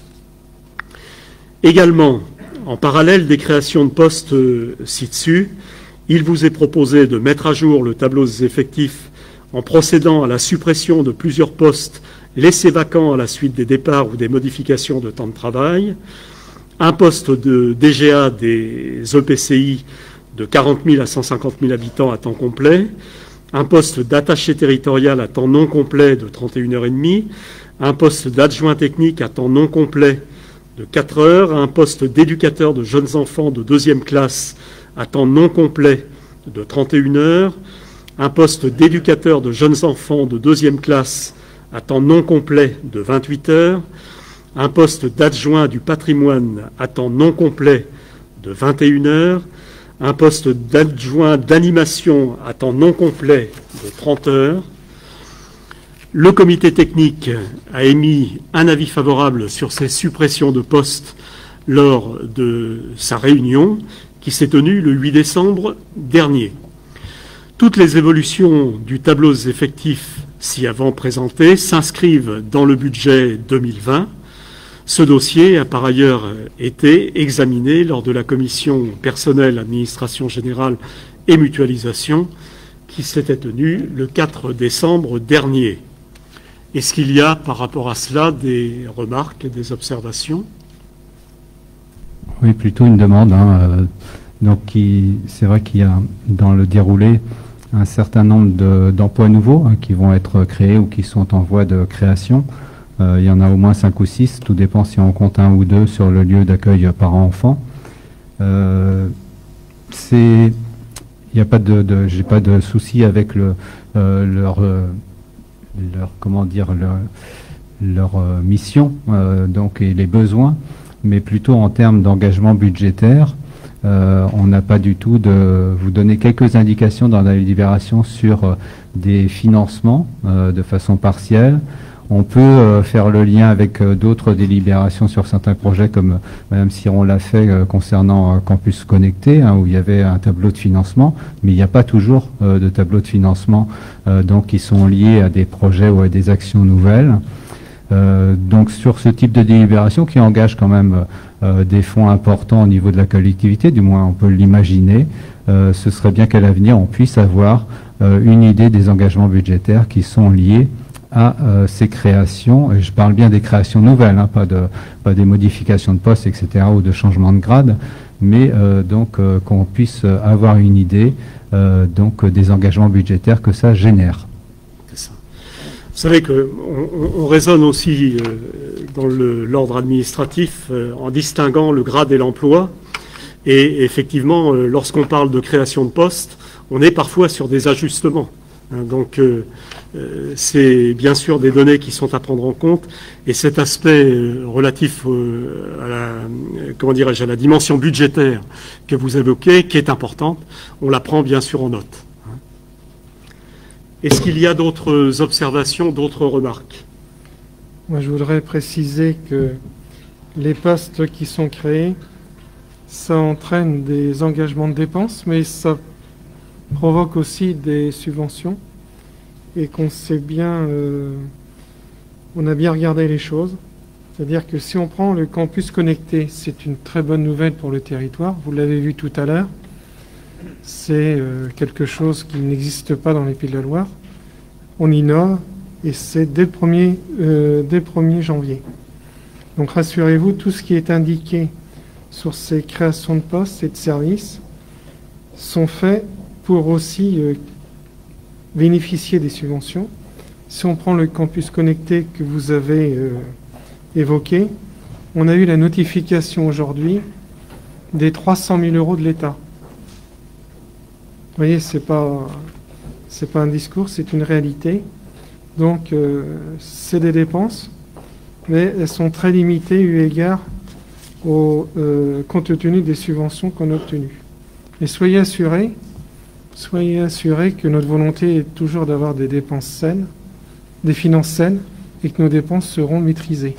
C'est la raison pour laquelle cette délibération a été euh, travaillée pour qu'il euh, n'y ait pas de conséquences néfastes sur euh, le budget à venir, qui dans un contexte, on va le dire, inédit, traduira néanmoins des baisses de recettes, mais ces postes, les postes et les créations de postes correspondent à des services nouveaux qui sont accompagnés.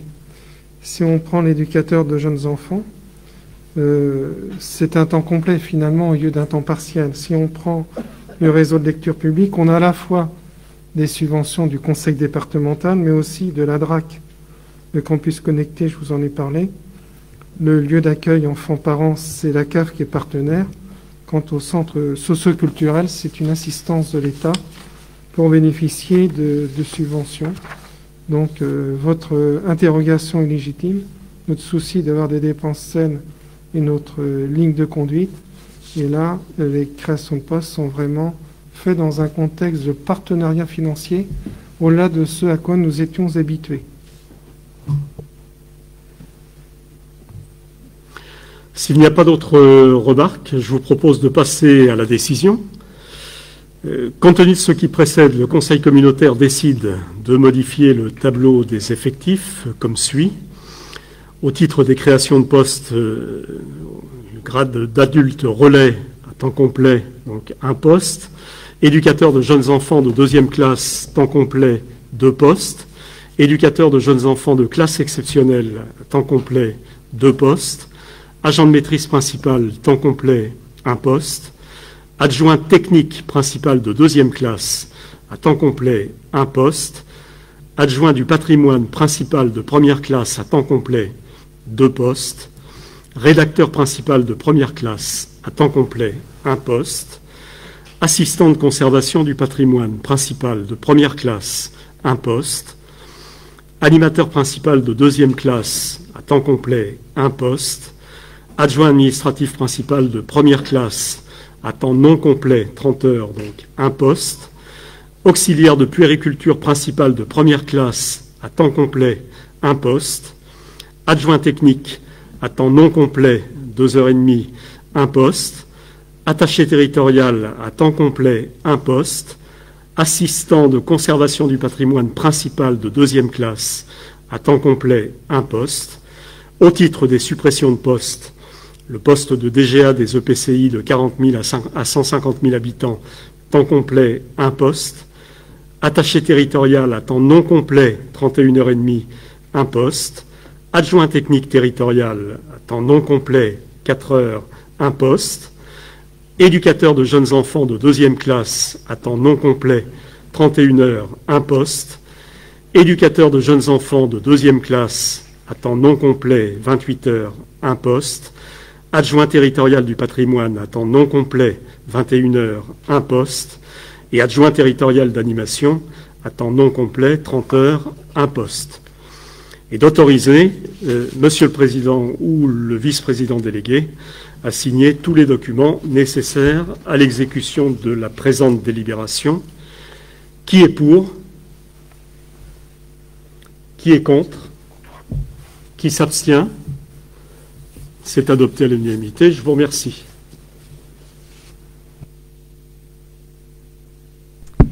Lancement du projet lieu d'accueil enfants-parents, LAEP. Dans le cadre du contrat enfant-jeunesse signé le 19 septembre 2019 avec la Caisse d'allocation familiale de Loire-Atlantique, la collectivité s'est engagée à créer un poste de coordinateur parentalité et mettre en œuvre un lieu d'accueil enfants-parents, LAEP. Il s'agit de proposer aux familles un espace d'accueil convivial qui accueille de manière libre, gratuite et sans inscription des jeunes enfants de moins de 6 ans accompagnés de leurs parents, d'un adulte référent comme un assistant maternel ou encore des futurs parents. La collectivité souhaite offrir un lieu d'échange et de socialisation pour l'enfant, d'accompagnement pour les futurs parents, favorisant la mixité sociale, d'écoute et d'attention mutuelle, respectant la confidentialité. Compte tenu de l'étendue du territoire, des difficultés de mobilité et d'isolement rencontrées par de nombreuses familles, il est envisagé de créer un LAEP itinérant sur cinq communes de l'intercommunalité et dans des lieux pouvant accueillir de jeunes enfants avec peu ou pas d'aménagement, médiathèque ou accueil périscolaire. Ce LAEP, unique en Loire-Atlantique, pourrait ainsi atteindre toutes les familles du territoire en attente de liens et d'accompagnement à la parentalité grâce à des permanences organisées de manière hebdomadaire et régulière pour fidéliser ce public fragile.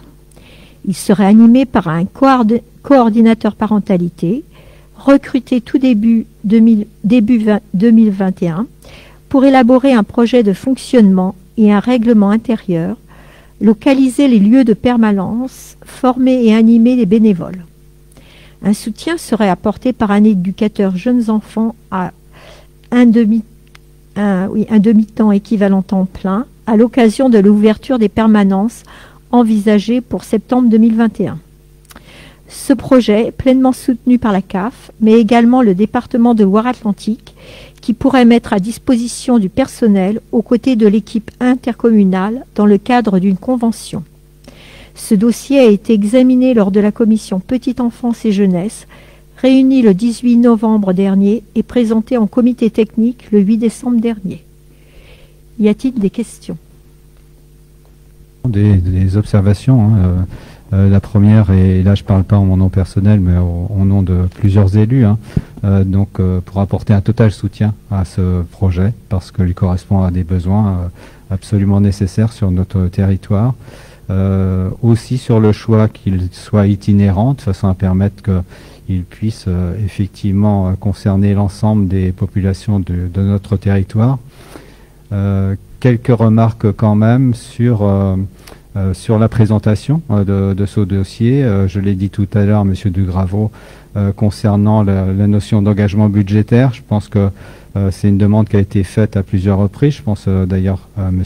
Jean Loire qui l'avait proposé, hein, qu'à chaque projet nouveau, action nouvelle, investissement, équipement nouveau, soit associé un budget euh, prévisionnel. donc ça, ça manque. quelques précisions qui manquent aussi, hein, puisque on parle d'itinérance, mais d'itinérance dans un premier temps qui sont bloquées sur cinq communes. donc première question, quelles sont les communes donc, qui sont concernées par le lancement du projet? Et donc quand et comment donc l'itinérance concernera les autres communes? Bien, pour l'instant, je ne peux pas vous répondre sur euh, la localisation puisque nous ne le savons pas pour l'instant. Comme il est dit dans la, délibération, ce sera cette personne qu'on va recruter en début d'année qui euh, va évaluer les endroits où pourront avoir lieu ces rencontres. Voilà. Et après, en, commission, on, pourra vous en parler et affiner un petit peu. Euh, mais ça, en effet, ce projet est très innovant puisque sur le reste du département, il est fait, mais en, je dirais, en statique. Euh, et, là, nous, on le fait en mobile. Mais évidemment, cette mobilité, elle ne peut pas se faire dans certaines. Il faut respecter quand même certaines conditions, notamment des conditions d'accueil. Voilà. Et pour ce qui est du financement, bien, je pense que M. Dugraveau et M. le Président ont répondu à votre question.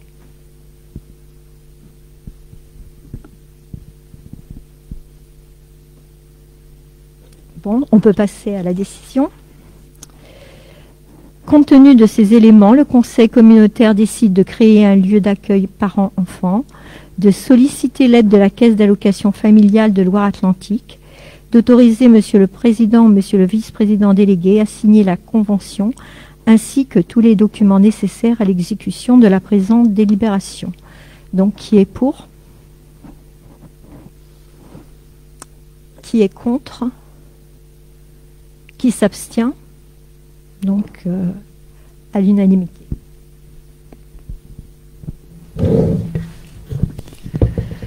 Donc, délibération 2020 sur la demande de renouvellement d'agrément pour le centre socioculturel intercommunal. Le centre socioculturel intercommunal bénéficie d'un agrément animation de la vie sociale de la part de la Caisse d'allocation familiale de Loire-Atlantique pour les années 2019-2020 il convient de le renouveler pour les quatre prochaines années dans le cadre de la circulaire de la Caisse nationale des allocations familiales du 20 juin 2012. Au titre de, ses missions principales, un centre socio-culturel doit être un lieu de proximité à vocation globale, familiale et intergénérationnelle qui accueille toute la population en veillant à la mixité sociale. Il doit être un lieu d'animation de la vie sociale qui permet aux habitants de s'exprimer, de concevoir et de réaliser leurs projets. Il doit répondre également à des missions complémentaires comme organiser une fonction d'accueil et d'écoute des habitants usagers, des familles et des groupes informels ou associations. Assurer aussi une attention particulière aux familles et aux publics fragilisés et, le cas échéant, leur proposer un accompagnement adapté. Développer des actions d'intervention sociale adapté aux besoins de la population et du territoire. Mettre en œuvre une organisation, un plan d'action visant à développer la participation et la prise de, de responsabilité par les usagers et les bénévoles.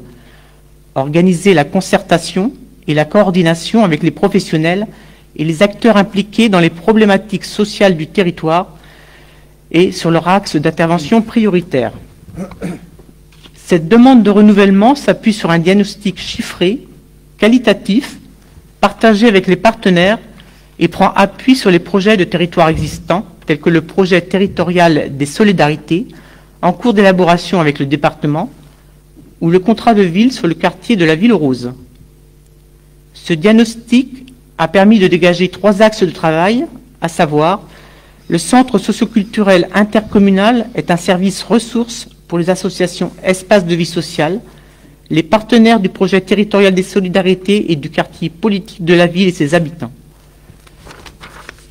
Le centre socioculturel intercommunal est un soutien à la vie associative et à l'engagement des habitants pour les associations agréées Espaces de vie sociale, les partenaires du projet territorial des solidarités et du quartier politique de la ville et les habitants. Le centre socioculturel intercommunal participe à l'animation de la vie locale aux côtés des partenaires. Donc, je vous laisse simplement euh, donc, euh, ce dossier a été vu en deux fois par la commission Solidarité, le 19 novembre et le 9 décembre. Donc euh, sur ce, le nouveau projet social euh, qui court de 2021, qui court de 2021 à 2024, en appui de cette demande, donc euh, il a été complété, et je veux dire travaillé aussi avec par des constats partagés. Ce qu'on a fait avec tous les partenaires, les services, comme il est dit dans la délibération, les associations et les membres évidemment de la commission et les élus. à partir de ces constats partagés et des réflexions qui sont revenues, il y a quand même des priorités qui se dégagent en cette période de, euh, crise, de contexte sanitaire qui n'a pas permis évidemment d'optimiser au, maximum les activités et auquel on ne peut pas non plus aujourd'hui euh, avoir un retour ou mesurer un peu euh, les résultats de ce confinement et de l'isolement qui va avec. Donc il y a eu en concertation de tous ces constats, partagés des priorités qui se dégagent dans ce nouveau projet social qui est donc adossé à cette demande de renouvellement. Donc les euh, priorités, je me permets, voilà, euh, c'est important de les redire, hein, qui se dégagent. Ça tourne évidemment autour de la scolarité, de la parentalité. Il est évident qu'il faut renforcer aussi les partenariats avec, euh, tous les partenaires institutionnels et aussi les, différents services de la communauté de communes.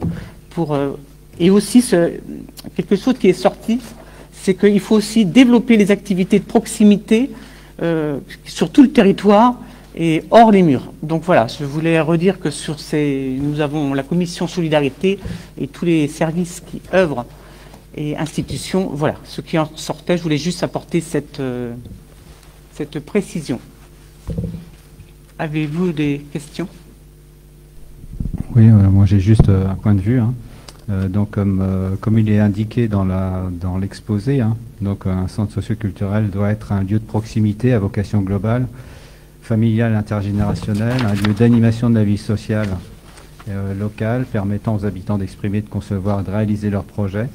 Euh, donc ce lieu de proximité euh, et de vie sociale et d'animation de la vie sociale trouve tout son sens aujourd'hui au sein du quartier de la Ville Rose dans lequel il, est implanté. J'espère qu'il ira aussi au-delà donc dans les autres quartiers de la ville. Euh, mais euh, il me semble que pour le reste du territoire de la Comcom, ce centre socioculturel n'a que peu d'influence euh, et qu'en réalité, ce sont plutôt les espaces de vie sociale qui remplissent ces missions de, de, proximité. Hein. et donc,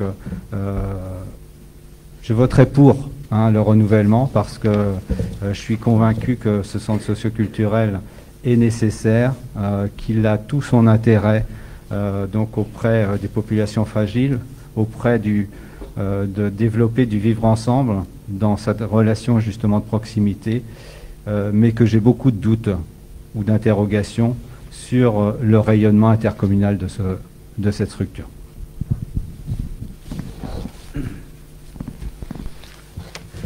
Sur, sur, la question des associations espaces de vie sociale qui couvrent notre territoire, qui, font, qui font preuve euh, d'accompagnement et d'aide nécessaires en cette période sur tout le territoire. C'est vrai que nous, allons travailler aussi avec eux. Ils sont partie prenante aussi. Euh, le centre socioculturel, c'est un point, c'est le lieu de ressources qui permet d'accompagner aussi les actions. On est bien conscient au jour, d'aujourd'hui que tout ce, bénévolat et ces actions qui sont déjà en place sur le territoire euh, doivent être renforcées. On travaillera dans en toute collaboration aussi avec euh, pour recevoir, aménager et rendre plus euh, efficace sur tout le territoire. Il est quand on parle de l'animation hors, des murs, et c'est bien pour aller voir, euh, aller vers les habitants où ils se trouvent sur ce territoire. Si, vous me permettez, j'aimerais juste compléter sur la dimension intercommunale. Euh, je voudrais faire allusion à l'association des potes de cette lieu, hein, qui travaille effectivement aussi en étroite collaboration avec le centre intercommunal. Et de ce point de vue, euh, effectivement, euh, il y a une dimension bien externe, je dirais, à, simple, simple lieu de la ville rose.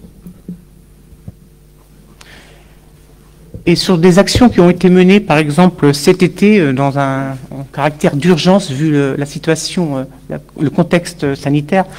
Euh, il a été mis en place les intercalés sur huit communes, qui a quand même fédéré quand même beaucoup de d'activités, de, personnes qui sont venues et de- d'interconnaissances. Je dirais que c'était très intéressant.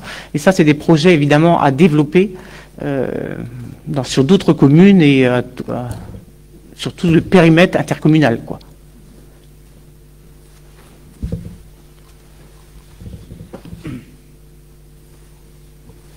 Avez-vous d'autres questions? Alors, compte tenu de ces éléments, le Conseil communautaire décide de solliciter le renouvellement de l'agrément du centre socioculturel intercommunal pour la période 2021-2024 auprès de la Caisse d'allocation familiale de Loire-Atlantique, d'autoriser Monsieur le Président ou Madame la Vice-présidente déléguée à signer tous les documents nécessaires à l'exécution de la présente délibération. Qui est pour? Qui est contre? Je vous remercie.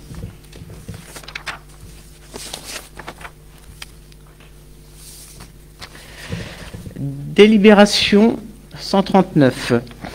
Rapport d'activité politique de la ville sur le quartier prioritaire de la ville rose à Châteaubriand. La loi 2014-173 du 21 février 2014 de programmation pour la ville et la cohésion urbaine a confié le diagnostic, la définition des orientations, l'animation et la coordination des contrats de ville aux, éta- aux établissements publics de coopération intercommunale. C'est dans ce cadre que la communauté de communes Châteaubriand d'Herval pilote les interventions conduites sur le quartier de la Ville Rose à Châteaubriand, identifié en 2014 par l'État comme entrant dans la nouvelle géographie prioritaire.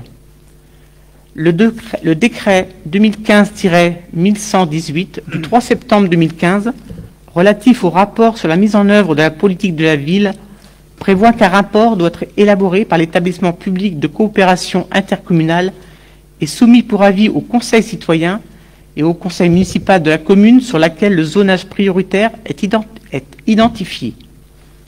Le rapport joint en annexe à la présente délibération a fait l'objet d'une présentation et d'un débat en conseil municipal de la ville de Châteaubriand lors de sa séance en date du 7 octobre 2020. Il a également été présenté et remis au conseil citoyen. Le conseil municipal de la ville de Châteaubriand a adopté ce rapport par délibération en date du 7 octobre 2020. Celui-ci doit désormais faire l'objet d'une adoption par le conseil communautaire. Donc c'est un dossier qui a aussi été vu le 19, no- euh, 19 novembre par la commission Solidarité.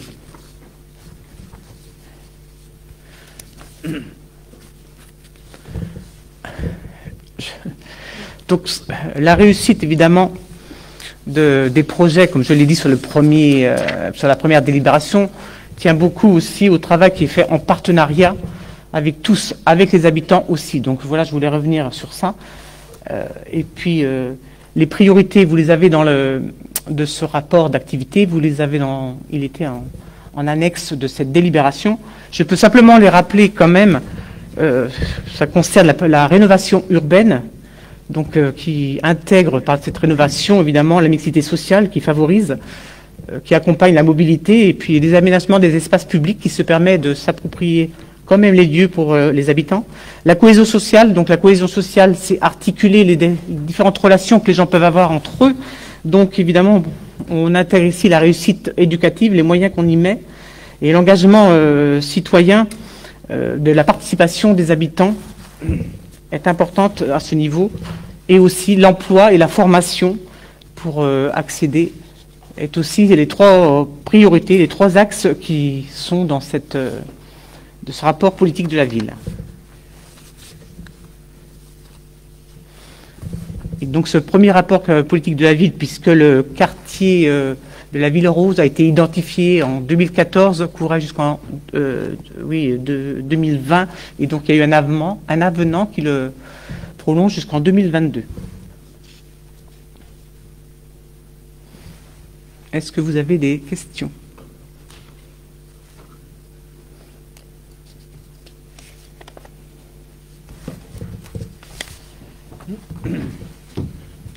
Alors, compte tenu de ce qui précède, le Conseil communautaire approuve, alors, attendez, approuve le rapport sur les actions politiques de la ville conduite sur le secteur de la Ville Rose à Châteaubriand. C'est ça, non Il n'y a pas de vote. Il n'y a pas de vote, voilà. Non, vous n'aviez pas de questions. Voilà, je vous remercie. Alors, délibération 140. Choix du mode de gestion de l'espace aquatique de Derval. Dans le cadre de sa compétence, construction, aménagement, entretien et gestion des équipements sportifs d'intérêt communautaire, la communauté de communes Châteaubriand-Derval a en charge la gestion de trois équipements aquatiques sur le territoire. Par délibération en date du 26 avril 2016, la gestion de l'espace aquatique de Derval a été confiée par la communauté de communes du secteur de Derval à la société Prestalis.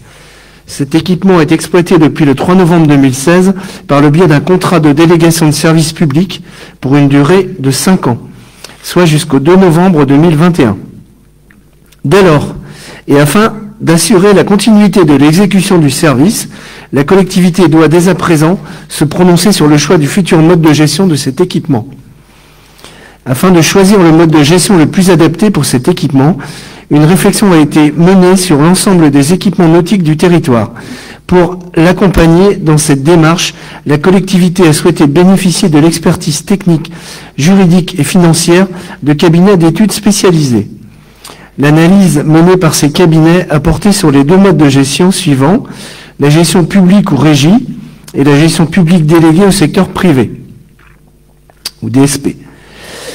Au vu des conditions de cette, analyse comparative, la gestion publique déléguée au secteur privé pour gérer l'espace aquatique de Derval via un contrat de délégation de service public apparaît comme la solution la, la plus adaptée.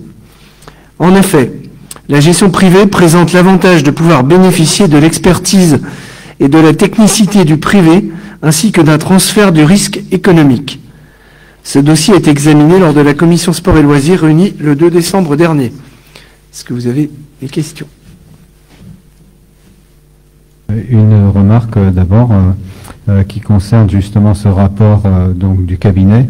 On avait souhaité, il me semble, au sortir de la commission, de pouvoir avoir les documents parce qu'ils n'étaient pas forcément très lisibles le soir de la séance de la commission. Donc on n'a pas reçu les documents malheureusement, donc c'est difficile d'avoir les éléments comparatifs qui sont cités dans cette euh, délibération. Euh, je pense que c'est une occasion manquée quand même, hein, parce que le terme de la délégation de service public, euh, c'était justement l'occasion d'harmoniser les modes de gestion des trois équipements aquatiques. Hein. Donc entre le mode de gestion public qui est celui qui concerne euh, les deux espaces aquatiques situés à Châteaubriand et, euh, le mode de gestion privé euh, qui concerne Derval. donc vous indiquez dans la délibération que finalement le choix, la solution la plus adaptée concerne la gestion privée parce que on bénéficie entre guillemets de l'expertise de la gestion privée hein, et donc on ne prend pas de risque en termes économiques puisqu'il y a un transfert euh, donc en termes de risque économique. Euh, sur cette partie euh, transfert du risque économique, je vois pas bien parce que on vient de passer une délibération tout à l'heure avec des prises en charge par la collectivité de ce risque économique, hein, donc 54 000 plus 23, plus 23 000, donc c'est pas rien tout de même, donc c'est pas un transfert complet du risque économique. Et sur la partie expertise du privé, euh, pourquoi pas, j'ai rien contre, mais il y a quand même un service euh, de gestion des, deux espaces aquatiques euh, de Châteaubriand qui est expérimenté, hein, donc avec une longue expérience dans la gestion de ce type d'équipement. je pense même que la personne, le responsable nous indiquait qu'il avait un regard sur l'espace aquatique de Derval, donc qu'il y avait des, des, soutiens techniques de sa part en tout cas et de la part de son service euh, pour l'espace aquatique de Derval. Donc, euh, moi, il me semble que le choix euh, politique le plus cohérent était celui qui devait harmoniser donc les deux modes de gestion. et pour ce principe-là, je pense qu'il fallait opter pour un régime de régie. Alors c'est pas du tout du dogmatisme, mais euh, c'est pour euh, aller euh, dans un souci d'harmonisation qui me semble-t-il est nécessaire parce que c'est profitable aux habitants. Il y, aura, il y aura dans un cas de d'un mode d'une harmonisation et d'une gestion publique un égal accès donc pour tous les habitants, des tarifs qui seraient les mêmes, des offres de services qui seraient identiques. Et là, on aura des offres ou des tarifs qui peuvent être différents en fonction qu'on est utilisateur de l'espace aquatique de Derval ou de ceux de Châteaubriand. Donc, pour moi, c'est une occasion manquée. Bon alors, il y a beaucoup de points dans ton intervention. Euh, par rapport à, euh, au dernier point, puisque il est plus frais dans nos mémoires. Euh, par rapport au, on a, on a donc fait dans l'étude, il y avait une étude de la fréquentation des piscines. Il s'avère que peu de gens qui viennent à la piscine de Châteaubriand vont aussi à la piscine de Derval. Donc, je dirais que les, problèmes de tarification de ce fait sont, sont pas sensibles vraiment et les problèmes d'abonnement euh, euh, d'avoir un abonnement mutualisé entre les deux, ça n'a pas paru euh, forcément euh, trop peser, enfin devoir peser dans la décision. par rapport au, déficit, effectivement, la comme vu tout à l'heure dans la délibération, la communauté de communes participe de manière importante au déficit, mais elle prend en charge la totalité des déficits des piscines de Châteaubriand. Euh, qui, faut, savoir que les gens de, le personnel de la piscine de Derval, quand la piscine était fermée, donc euh, la société Prestalis bénéficiait donc des aides de l'État. Hein, euh, ce, qui est, tout à fait logique. Hein. la communauté de communes, pour son personnel des piscines, n'en bénéficiait pas. Donc voilà, avait à pleine charge les salaires des gens, comme si la piscine avait été ouverte. Euh, voilà, enfin, il y a un certain nombre de, raisons finalement qui ont fait pencher euh, la, balance en faveur de la DSP. Mais euh, voilà, c'était pas forcément une décision qui était qui était écrite d'avance. Donc il y a, aussi il y avait des risques sociaux aussi parce que le personnel, enfin il y, a toute une gestion de personnel derrière. Euh, voilà. Euh, et de, la même manière, euh, il n'a pas semblé enfin, devoir peser dans la balance la mutualisation. on est, autant on peut mutualiser entre l'Aquachoiselle et les espaces dauphins, puisque les deux piscines sont à Châteaubriand. Autant la mutualisation avec Derval est quand même plus compliqué, faire intervenir des, des maîtres nageurs de Derval sur Châteaubriand ou le contraire. Bon voilà, effectivement ça peut se faire, mais c'est quand même plus compliqué. Voilà, il y a eu tout un ensemble de raisons, mais euh, qui ont fait que la balance a penché de ce côté. voilà. Donc si, je peux me permettre, euh, Patrick, aussi oui, bien sûr. De, rajouter un point. Donc ce, mode effectivement donc de, DSP sur Derval, euh, bon, c'est quelque chose qui passe bien, je dirais, auprès de, la population. Euh, et également, moi, pour rencontrer euh, régulièrement euh, les gens de Prestaliste, ce sont quand même des gens qui sont, je dirais, de bonne, de bonne écoute. Hein, et donc, on, s'en est aussi rendu compte, notamment dans la phase de, négociation sur les problématiques financières, où effectivement, ils ont bien compris et intégré aussi notre, notre vision des choses. Et donc, ils en ont tenu compte. Et donc, on est arrivé, effectivement, me semble-t-il, euh, en fait, à une négociation euh, que je pourrais peut-être qualifier de gagnant-gagnant. Je voudrais préciser aussi que, comme vient de le dire euh, Dominique, Prestanis gère plus d'une vingtaine d'équipements dans l'Ouest et en dehors. Que si on a participé, comme vous l'avez dit tout à l'heure, au déficit, notre négociation nous a permis de participer moins que les autres. C'est-à-dire que certains ont dû euh, donner plus, subvenir plus au déficit, et la négociation a été plutôt avantageuse pour la collectivité euh, par rapport à, à, leur demande. Maintenant, les collègues de Derval avaient fait un choix, avaient fait un choix qu'il est trop tôt de remettre en cause euh, trois ans après la fusion. Pourquoi? Parce que, hormis le Covid, tout, se passait bien. Tout se passait bien. des deux côtés. Alors le fait qu'ils aient des subventions parce qu'ils ont fermé, ce n'est pas le critère. Euh, moi, j'espère bien que la Covid ne va pas continuer. Hein. C'est pas sous l'angle de la gestion de la Covid qui nous a fait pencher sur cela. Il faut voir qu'une régie, c'est un défi. C'est un choix que nous avions fait. Euh, c'est compliqué. C'est compliqué puisque le personnel euh, de piscine, je pense notamment au maître nageur sauveteur, c'est une denrée rare aujourd'hui à trouver. Il y a eu des réformes au niveau de l'État qui sont complètement absurdes et qui font qu'il euh, y a des problèmes de recrutement.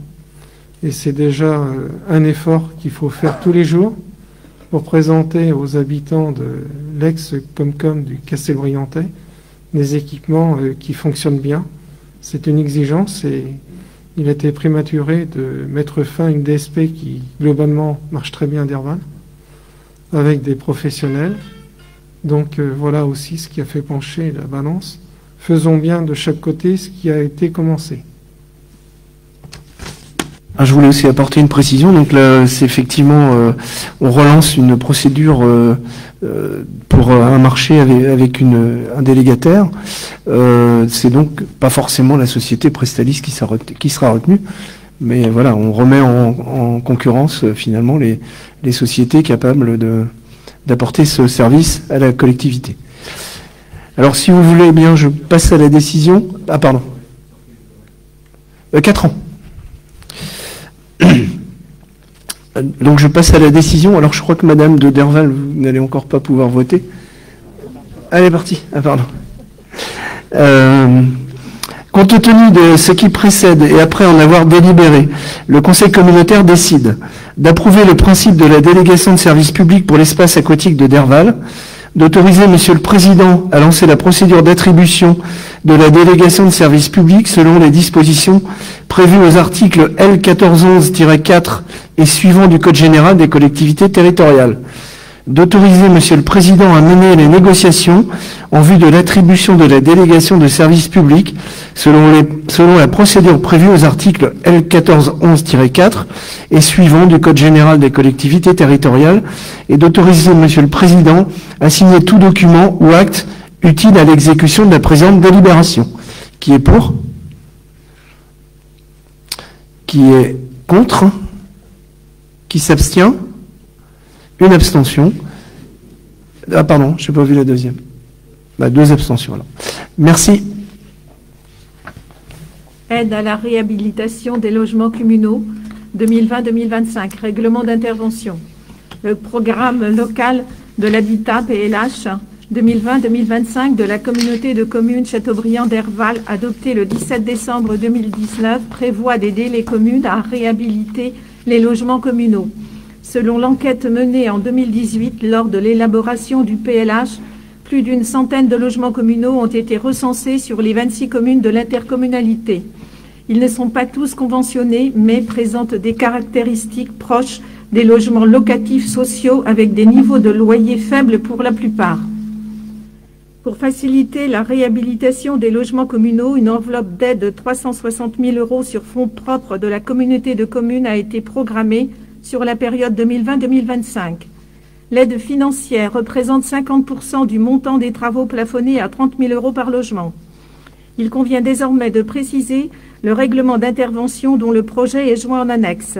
Ce dossier a été examiné lors de la commission équilibre et développement du territoire Habitat et Urbanisme réunie le 2 décembre dernier. Y a-t-il des questions? Euh, une euh, remarque. Euh, quand on a eu la commission donc autour de cette de ce projet de délibération, on avait retenu l'idée que la commission pourrait être amenée à, à, se prononcer sur les demandes de subventions par les communes hein, qui concernent leurs bâtiments communaux, parce qu'on s'était rendu compte dans la discussion bah, que c'était difficile quand même de tout critériser. On a beaucoup discuté entre les types de logements qui pouvaient être concernés, etc. Et donc, on avait euh, remis l'idée euh, que la commission, elle entrerait dans le processus de, décision ou de validation euh, des demandes. or, ben, ça n'apparaît pas du tout dans l'exposé ni dans le règlement qui est annexé. La, commission, lors de la commission, on avait vu, vous aviez posé cette question, et il était, euh, on avait vu ensemble, euh, enfin, à la Commission que c'était possible, mais d'avoir peut-être un droit de, de regard, mais peut-être pas une décision.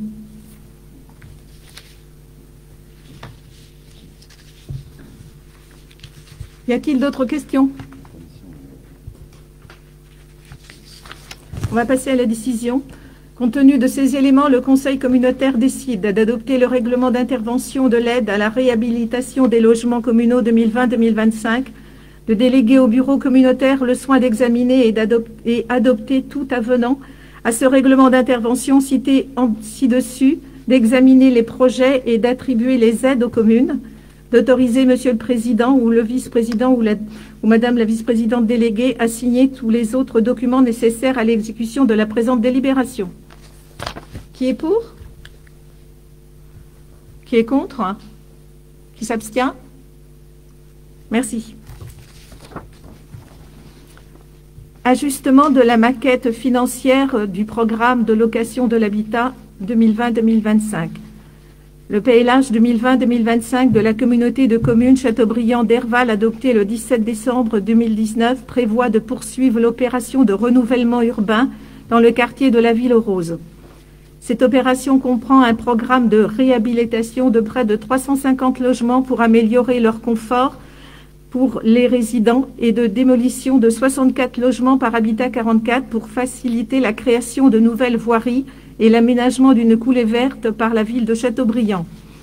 Habitat 44 prévoit également la création de 20 logements sociaux dans un nouvel immeuble qui accueillera l'agence du, du, bailleur social et la construction d'une maison relais de 15 logements qui sera proposée en gestion à l'association Une famille, un toit.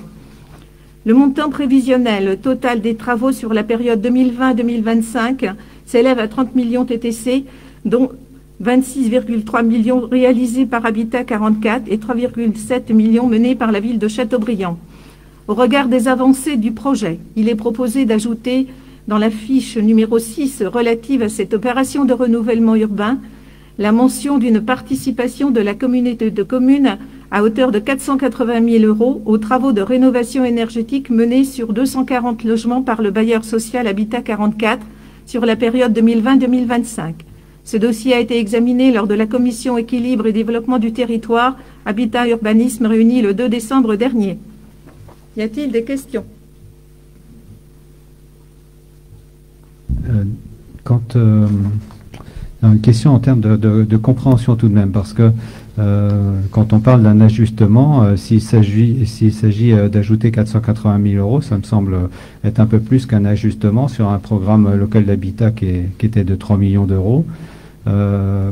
mais dans ce programme local d'habitat, il y avait une ligne qui concernait une contribution effectivement de la Comcom au projet de rénovation urbaine sur la ville aux Roses, hein, mais une contribution de 420 000 euros. Alors, est-ce que ça veut dire, cette délibération, qu'on ajoute 480 000 euros ou qu'on ajoute la différence entre 420 et 480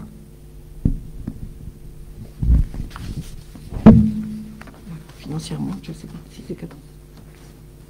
Non, il était prévu. On ajoute 480 000. On ajoute 400 on a un bailleur on ajoute 480 ou 420 000 qui sont déjà programmés dans le PLH. Exactement. On a un bailleur social qui euh, investit 26 300 000 et on contribue pour 1,8% à la réhabilitation de 240 logements sociaux. Je préciserai dans le montage financier, je pense qu'il faut aussi être clair, c'est sur 5 ans. C'est un programme sur 5 ans. Et le, voilà. Bah, il y a déjà une année qui, s'est écoulée. C'est pour ça que je, dis cinq ans. Donc, je pense aussi que ces chiffres-là, il faut les remettre au, regard du nombre euh, d'années. Et puis, on peut remettre aussi ces chiffres-là au regard euh, du montant qui est subventionné par logement ça nous fait 2000 euros, vous voyez bien, par logement sur 5 ans. Quand on sait que la rénovation d'un logement, euh, eh bien, vous voyez ce que ça peut donner, c'est près de 60 000 à 70 000, euh, on peut faire le calcul et c'est là, on peut parler d'ajustement. Et le terme, il est tout à fait bien choisi. Quand même, hein, que, quand, quand, on a discuté de ce PLH, euh, donc 2018-2019, euh, quand il a été voté à deux reprises en juillet 2019 et en décembre, donc ce, ce, montant de 3 millions d'euros hein, en termes de totalité des engagements sur le programme de 6 ans. Euh, à chaque fois qu'on a discuté d'une possibilité de faire plus, mieux, etc., euh, à chaque fois on avait ce, plafond de 3 millions d'euros, mais attention, faut pas, faut pas le, dépasser. Euh, pour l'instant, c'est déjà un engagement très important. Et là, euh, tout d'un coup, euh, sans, qu'il y ait euh, de discussion préalable, donc sans qu'il y ait un examen préalable des, conditions, etc., vous proposez d'abonder un, plus de 480 000 euros. 480 000 euros sur 3 millions, c'est quand même pas rien, quoi. 240 logements sociaux, c'est pas rien non plus. Hein? Parce que pour les logements sociaux, qu'est-ce qui vous gêne? Sont pris en charge par 44. Non mais ce sont des logements sociaux. On donne 1,8% du total. Comme l'a dit Catherine, on est entre 60 et 80 000 euros par logement. 60-70 000. Donc Habitat 44 fait le tour des partenaires. Il nous a sollicité, eu égard à la nature des logements et au quartier prioritaire. Donner, donner 2 000 euros sur une réhabilitation qui varie entre 60 et 70 000, compte tenu de la nature des logements, je comprends vraiment pas cette, euh, cette réflexion. Et, je me permets de compléter. Il faut la voir comme euh, c'est vrai que dans les discussions, ce que je, répète ce que je viens de dire, mais dans les discussions qu'on a eues au moment de l'élaboration de ce plan local d'habitat, euh, c'est vrai que ça semblait quand même être euh, une barrière, ces 3, ces 3 millions d'euros qu'on ne pouvait pas dépasser. Et là, tout d'un coup, pac, on y va. C'est pas tout d'un coup. Vous savez très bien que quand c'était lancé, il n'y avait pas cette rénovation, cette volonté d'Habitat 44 d'être un partenaire de notre territoire non, attendez. Euh, le logement social, c'est pas une question qui, euh, une petite question. On est sur un territoire communautaire où on a besoin de logements. On a besoin de logements sociaux. On a avec Habitat 44 un partenaire euh, qui a une belle expérience, qui a une belle présence et qui a une volonté de la développer. On a eu l'occasion en conférence des maires d'avoir un exposé par M. Frexinas de l'action d'Habitat 44, non pas sur la ville-centre, mais sur le territoire communautaire. Ce soir, vous avez des gens qui sont mal logés.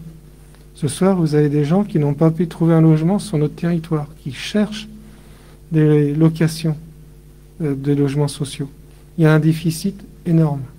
Et ce déficit, Habitat 44 est un accompagnateur, puisque sur la ville rose, on avait une réunion ce matin avec eux, c'est 20 logements plus, d'un côté, 15 de l'autre, une rénovation, une réhabilitation.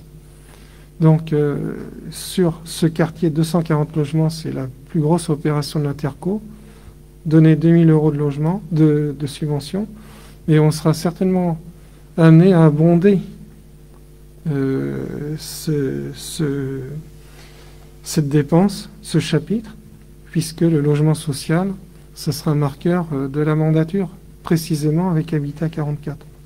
Alors, on peut toujours parler de la ville rose. Tout à l'heure, j'ai pas euh, pas entendu concernant le centre socio-culturel que c'était une belle réalisation, et on entendait tout à l'heure que c'était limité au quartier. Il suffit de se renseigner, de voir comment ça se passe. Dominique l'a dit avec euh, les potes des sept lieux, le centre socio-culturel, il est ouvert sur les espaces de vie sociale. C'est une belle réalisation ceux qui au départ étaient contre, qu'on fait beaucoup de choses pour pas qu'il se fasse aujourd'hui, ne peuvent que s'en satisfaire, j'imagine, surtout quand on voit notre plan de financement. Ici, on est sur un quartier où il y a de vrais besoins, il suffit d'y aller, de voir comment ça se passe. Donc, euh, on peut toujours dire que c'est 480 000 euros de trop. Et comme l'a dit Catherine, c'est 480 000 euros sur 5 ans. 90 000 euros, 95 par an égard à notre budget, c'est peanuts. Ça.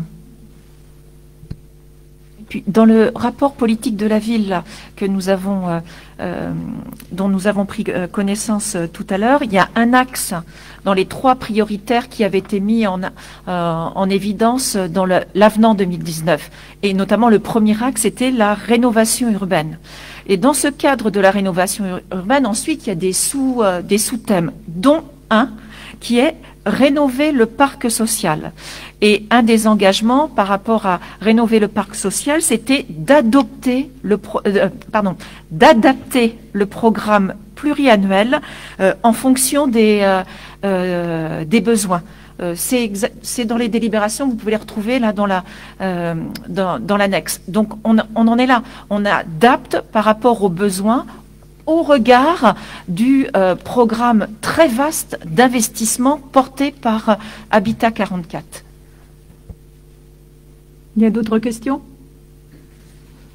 Compte tenu de ces éléments, le Conseil communautaire décide d'approuver l'ajustement de la maquette financière du programme local de l'habitat 2020-2025 de la communauté de communes Châteaubriand d'Herval en mentionnant une participation à hauteur de 480 000 euros aux travaux de rénovation énergétique menés sur 240 logements par Habitat 44 dans le quartier de la Ville Rose. D'autoriser Monsieur le Président ou Monsieur le Vice-président délégué à signer tous les documents nécessaires à l'exécution de la présente délibération. Qui est pour? Qui est contre? Qui s'abstient? Merci. Création d'une plateforme territoriale de rénovation énergétique.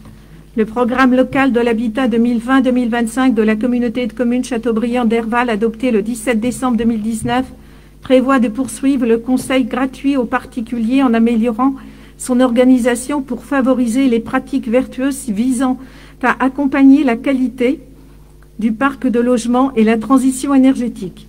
L'ouverture de la maison de l'habitat au printemps 2020 au 28 rue des Pasteurs à Châteaubriand a conforté le guichet unique d'information sur l'habitat en regroupant les permanences de l'Agence départementale d'information et du logement, la DIL, de l'espace Info Énergie EIE et du Conseil d'architecture, urbanisme et environnement, le CAUE. L'engagement de l'opération programmée d'amélioration de l'habitat au pas a complété ce guichet en apportant une réponse aux propriétaires occupants à revenus modestes et très modestes et aux propriétaires bailleurs proposant des loyers abordables pour les travaux éligibles aux aides de l'ANA et de l'Action Logement. Il est proposé de conforter ce guichet unique d'information par la création d'une plateforme territoriale de rénovation énergétique, PTRE, afin de poursuivre et renforcer les permanences de l'espace info-énergie et accompagner les porteurs de projets non éligibles aux aides de l'OPA par une aide aux audits énergétiques et une assistance à maîtrise d'ouvrage avec visite à domicile. Cette plateforme assurera également une information et une sensibilisation des propriétaires de petits tertiaires privés, commerces, bureaux, restaurants et des professionnels de la rénovation. Les principaux objectifs proposés sur le territoire sur trois ans sont les suivants. 2000 contacts téléphoniques avec les particuliers, 400 rendez-vous avec les particuliers, 15 rendez-vous avec les propriétaires de petits tertiaires privés, 100 audits énergétiques aidés chez des particuliers, 5 audits énergétiques aidés dans les copropriétés, 100 assistances à maître d'ouvrage avec visite à domicile, 33 jours d'animation de sensibilisation. La, la, réalisation de ces objectifs conduit à un financement de l'acte apporté par le programme national SAR et l'État mené par grâce aux recettes générées par les certificats d'économie d'énergie issus d'entreprises privées. Un soutien forfaitaire de la région des Pays de la Loire vient compléter le montage financier. Donc le, tableau, vous l'avez ici, donc pour un total de 224 275 euros, donc avec des aides euh, de la SAR, euh, région Pays de Loire, et donc euh, un reste à charge pour la communauté de communes de 43 136 euros. L'appui financier des certificats d'économie d'énergie et la région est formalisé dans le modèle de convention joint en annexe. Ce dossier a été examiné lors de la convention équilibre et développement du territoire Habitat et urbanisme réunie le 2 décembre dernier. Euh, je tiens quand même à préciser que euh, sur notre territoire, c'est une première euh, dans les pays de la Loire. Y a-t-il des questions? On va passer à la décision. Compte tenu de ces éléments, le Conseil communautaire décide de créer une plateforme territoriale de rénovation énergétique, PTRE, agissant à l'échelle du territoire intercommunal, de solliciter l'appui financier de la région de la Pays de Loire, de la Loire au titre du programme de l'État, service d'accompagnement à la rénovation énergétique et au titre du soutien aux plateformes territoriales de rénovation énergétique d'adopter les principes de la Convention d'attribution des aides SAR et PTRE régionales à signer avec la région, de déléguer au bureau communautaire le soin d'approuver tout avenant relatif à cette convention, de lancer une consultation pour choisir l'opérateur qui assurera les missions de la plateforme, d'autoriser Monsieur le Président ou Monsieur le Vice-président ou Madame la Vice-présidente à signer tous les autres documents nécessaires à l'exécution de la présente délibération. Qui est pour? Qui est contre? Qui s'abstient? Merci.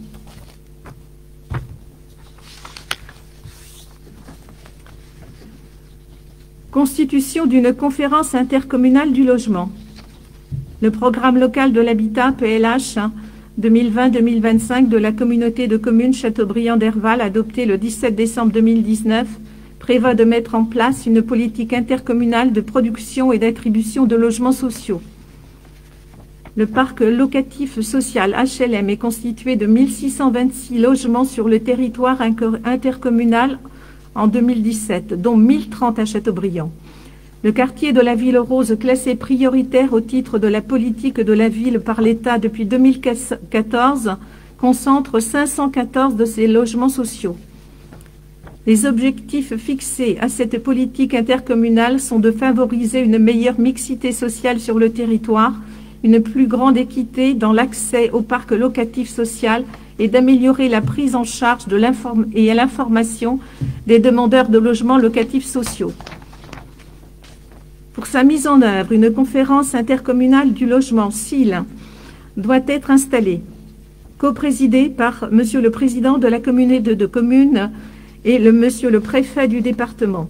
Elle est composée des maires des communes membres de l'intercommunalité, des représentants des bailleurs sociaux présents sur le territoire, des, réservataires de logements sociaux, des associations de locataires, des organismes agréés, maîtrises d'ouvrages d'insertion, des associations d'insertion ou de défense des personnes en situation d'exclusion par le logement et des représentants de personnes défavorisées. La CIL adopte des orientations et des objectifs quantitatifs et qualitatifs concernant les attributions et les mutations sur le patrimoine locatif social présent ou prévu sur le territoire, les modalités de relogement des personnes relevant des accords collectifs déclarés prioritaires au titre du droit d'accès au logement ou relevant des projets de renouvellement urbain, les modalités de coopération interpartenariale. Les orientations de la CIL seront déclinées dans une convention intercommunale d'attribution qui fixera les engagements chiffrés aux différents partenaires. Ce dossier a été examiné lors de la commission équilibre et développement du territoire Habitat Urbanisme réunie le 2 décembre dernier. Y a-t-il des questions? Décision Compte tenu de ces éléments, le Conseil communautaire décide de constituer une conférence intercommunale du logement et d'engager la procédure de consultation des instances appelées à y siéger. D'autoriser Monsieur le Président ou Monsieur le Vice-président délégué ou Madame la Vice-présidente déléguée à signer tous les autres documents nécessaires à l'exécution de la présente délibération. Qui est pour? Qui est contre? Qui s'abstient? Merci. Convention d'utilité sociale 2020-2025 d'Habitat 44. La Convention d'utilité sociale, le CSU, est un contrat conclu entre chaque organisme de logement social et l'État, fixant sur une période de six ans des engagements et objectifs en matière de patrimoine et d'investissement, d'occupation sociale, de politique des loyers, de qualité du service rendu aux locataires, d'accession à la propriété et de concertation locative. Sur le territoire de la communauté de communes Châteaubriand-Derval, le principal bailleur social est Habitat 44 qui gère 1252 logements répartis sur 19 communes constituant plus de 75% du parc. Parmi ces 1252 logements, 516 sont situés dans le quartier de la Ville Rose, classé quartier prioritaire par l'État au titre de la politique de la ville depuis 2014. 46 logements sont situés dans les foyers gérés par l'ADAPI 44 et l'Association pour le logement des jeunes au pays de Châteaubriand et 15 logements sont situés dans une résidence-service gérée par la mutualité retraite. La convention d'utilité sociale d'Habitat 44 pour la période 2020-2025 se traduit sur le territoire intercommunal par trois grands volets en matière de patrimoine et d'investissement. La réhabilitation de 657 logements représentant 22 millions de travaux sur 26 résidences avec deux projets qui se démarquent une opération de renouvellement urbain sur le quartier de la Ville aux Roses à Châteaubriand, 20 millions, et une opération de rénovation énergétique de 133 logements en pavillonnaire répartis sur 16 communes autour de Châteaubriand, avec au moins 10% de ces logements adaptés au vieillissement et au handicap. La production neuve de 50 logements supplémentaires en sus des 19 dont la livraison est déjà programmée au coteau de la Borderie à Châteaubriand et de 50 places en hébergement. Opération en cours, résidence Les Cohardières à Rouget, village senior à Herbray, résidence les eaux, Vives dans le quartier de la route de Vitré à Châteaubriand, opération en développement, résidence autonomie à Herbray, maison Villeneuve au Grand Auvernay, foyer une famille à toit dans le quartier de la Ville Rose à Châteaubriand.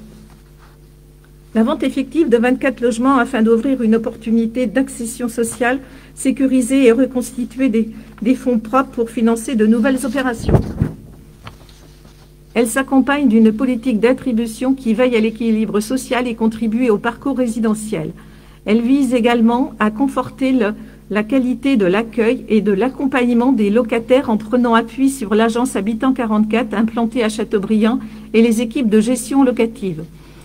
La communauté de communes Châteaubriand-Derval, en tant que personne publique associée, associé est invité à signer cette convention jointe en annexe.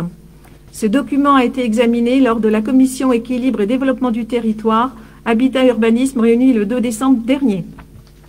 Y a-t-il des questions? Décision.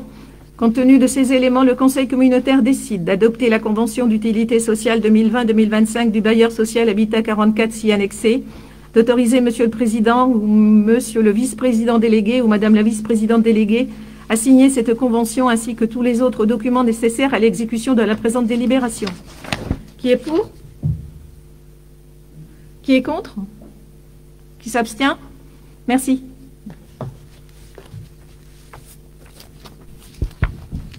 Donc nous allons maintenant aborder les, thèmes de la mobilité. Donc euh, Délibération numéro 146.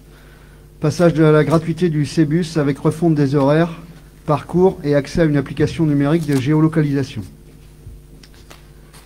Par délibération du 29 septembre 2020, la communauté de communes a adopté les conventions de transfert et d'affrètement assignées avec la région des Pays de la Loire, afin de prendre le relais sur la gestion de la desserte interne de Châteaubriand en minibus électrique CEBUS, en phase de test depuis septembre 2019. Afin de conforter l'attractivité de ce transport, sa tarification, qui est actuellement fixée à 1,20€ pour deux heures de trajet, avec une gratuité limitée à certains usagers, deviendra gratuite pour tous les usagers à compter du 1er janvier 2021. Une consultation publique menée durant le mois de novembre 2020 a permis de recueillir les avis et suggestions de 190 usagers et habitants afin d'améliorer les horaires et les circuits du CEBUS à l'intérieur de Châteaubriand, ainsi que vers les zones d'activité économique et les communes périphériques. Il est proposé qu'elles conduisent à une refonte des parcours et des horaires du CEBUS reposant sur les principes suivants.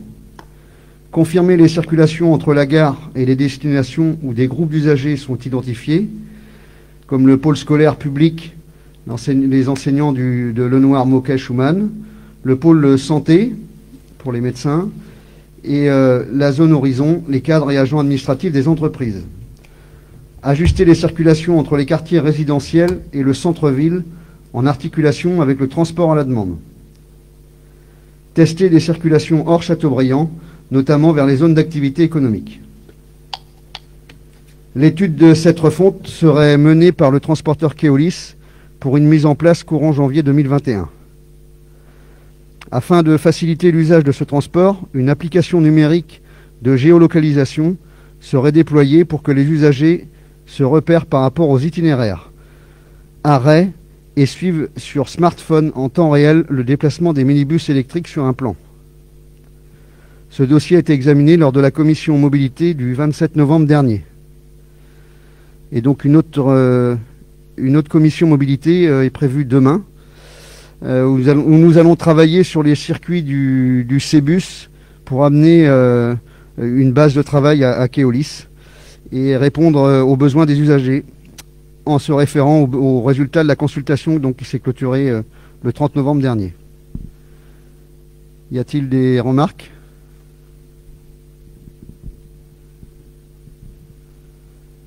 Donc on passe à la décision. Compte tenu de ces éléments, le Conseil communautaire décide d'adopter une tarification gratuite pour tous les usagers du minibus électrique Cébus à compter du 1er janvier 2021, d'engager une refonte des parcours et des horaires avec l'appui du transporteur Keolis, de déployer une application numérique de géolocalisation pour suivre en temps réel les déplacements des minibus électriques, et d'autoriser Monsieur le Président ou le Vice-président délégué à signer tous les documents nécessaires à l'exécution de la présente délibération. Qui est pour Qui s'abstient Qui est contre Merci. Donc délibération numéro 147, promotion du transport à la demande et convention de délégation de gestion avec la région des Pays de la Loire. Par délibération du 26 septembre 2019, la communauté de communes a engagé une action de promotion du transport à la demande, TAD, seule offre de transport collectif existante sur les 26 communes de l'intercommunalité permettant des déplacements entre communes et à l'intérieur des communes. Ce service fonctionne le mardi, le mercredi et le vendredi le matin avec un aller entre 9h et 9h30 et un retour entre 11h30 et 12h. Et le mercredi et le vendredi après-midi avec un aller entre 14h et 14h30 et un retour entre 17h30 et 18h. Il est activé par l'usager par réservation la veille de, son déplacement auprès du syndicat intercommunal des transports collectifs de la région de Châteaubriand-Nauzet-Derval qui prévient le transporteur. Ce TAD assure une desserte en porte-à-porte -porte avec des véhicules allant de la voiture particulière au minibus de 9 places assises qui sont adaptés en fonction du nombre d'usagers à transporter sur les parcours établis suite aux réservations. L'action de promotion consiste en la prise en charge du prix du carnet de 10 tickets à 21 euros à hauteur de 9 euros par la communauté de communes avec l'aide de l'Union européenne pour proposer un trajet au tarif de 1,20 euros l'aller pour les nouveaux usagers de ce service. D'octobre 2019 à novembre 2020, 152 carnets de, de, de 10 tickets ont été achetés et 256 nouveaux usagers se sont inscrits sur cette période. Un budget pour 1000 carnets ayant été provisionné, une poursuite de cette action peut s'effectuer durant l'année 2021. Afin de faciliter l'accès à ce service, il est proposé que la, réserva la réservation par l'usager soit réalisée à compter du 1er mars 2021 au guichet, au guichet multimodal de la Maison de la Mobilité à Châteaubriand, qui offre une amplitude horaire de 49 heures par semaine contre 20 heures pour le syndicat intercommunal des transports collectifs. La gestion de la réservation se traduirait par l'intégration de l'agent chargé de cette mission au SITC à l'effectif de la communauté de communes par voie de mutation. Cette prise de relais se traduirait par la signature d'une convention de délégation de gestion du transport à la demande avec la région des Pays de la Loire, selon le modèle joint en annexe, en lieu et place du syndicat intercommunal des transports collectifs, par anticipation de l'achèvement de la procédure de dissolution engagée par délibération du 23 juillet 2020 de la communauté de communes. Le volet financier resterait inchangé, avec une facturation par la région des Pays de la Loire de 45% du coût du service du transport. La durée de la convention serait limitée à l'échéance de dissolution du SITC prévue au 30 juin 2021 afin d'établir durant cette période les modalités d'un transfert de la gestion du service de transport à la demande de la région à la communauté de communes à l'image du CEBUS. Si les sept communes de la région de Nozay, membres du SITC, le souhaitent, la communauté de communes Châteaubriand-Derval assurerait la gestion des réservations du transport à la demande pour leur, pour leur territoire sur cette période. Ce dossier a été examiné lors de la commission mobilité du 27 novembre dernier. Y a-t-il des remarques Oui. Euh, donc euh, concernant cette euh, délibération, donc elle porte sur deux points. hein. Sur le premier point, ça ne pose aucun problème, bien au contraire, de poursuivre l'action de promotion hein, donc du transport à la demande. Il a besoin d'être promu, encouragé et donc de plus en plus sollicité. Par contre, sur la convention de gestion, je m'étais déjà exprimé dans ce sens au niveau de la commission. Je comprends pas. Vraiment, je comprends pas pourquoi cette cette convention de gestion pour quelques mois, hein, puisque euh, même le nombre de mois de la convention a été raccourci, puisque quand euh, quand vous l'aviez présenté en commission, on parlait d'une convention à compter du 1er janvier hein, jusqu'au 30 juin ou, ou jusqu'au 5 ou 6 juillet si on parle de la fin de transport, du transport scolaire. hein. donc euh, tout dépend euh, à quel moment s'arrêtera effectivement le transport scolaire et, et donc euh, la dissolution euh, du SITC qui semble actée euh, par tous les représentants du SITC aujourd'hui. Donc euh, aujourd'hui on nous parle d'une convention qui partirait du 1er mars euh, jusqu'au 30 juin ou au 4 juillet. Euh, je, je- vraiment, je, n'en comprends absolument pas, euh, pas le sens. Euh, D'autant plus que quand on regarde un petit peu l'annexe donc de cette convention, il y a quand même pas mal de précautions euh, sur euh, euh, notamment un logiciel. Alors je sais plus, en- euh, souvent c'est cité dire on fera de cette manière avant la mise en place du logiciel et puis de telle autre manière après la mise en place. Donc euh, ça me semble euh, en plus une complexité euh, de mise en œuvre cette euh, cette convention euh, pour si peu de temps. Euh, je crois savoir, et je pense que la, la formation a circulé, euh, que la, com la Comcom de Nozay euh, n'est pas n'est pas très engagée hein, sur la signature euh, ou n'a pas ou ne veut pas. Enfin bon, je sais pas comment le dire. Enfin, peu importe. Euh, il risque de manquer une signature à cette convention ou plusieurs, puisque là euh, vous citez euh, que c'est les sept communes de, Nozay qui doivent euh, signer, alors ce qui n'était pas le cas dans la convention qui nous, qui nous est proposée.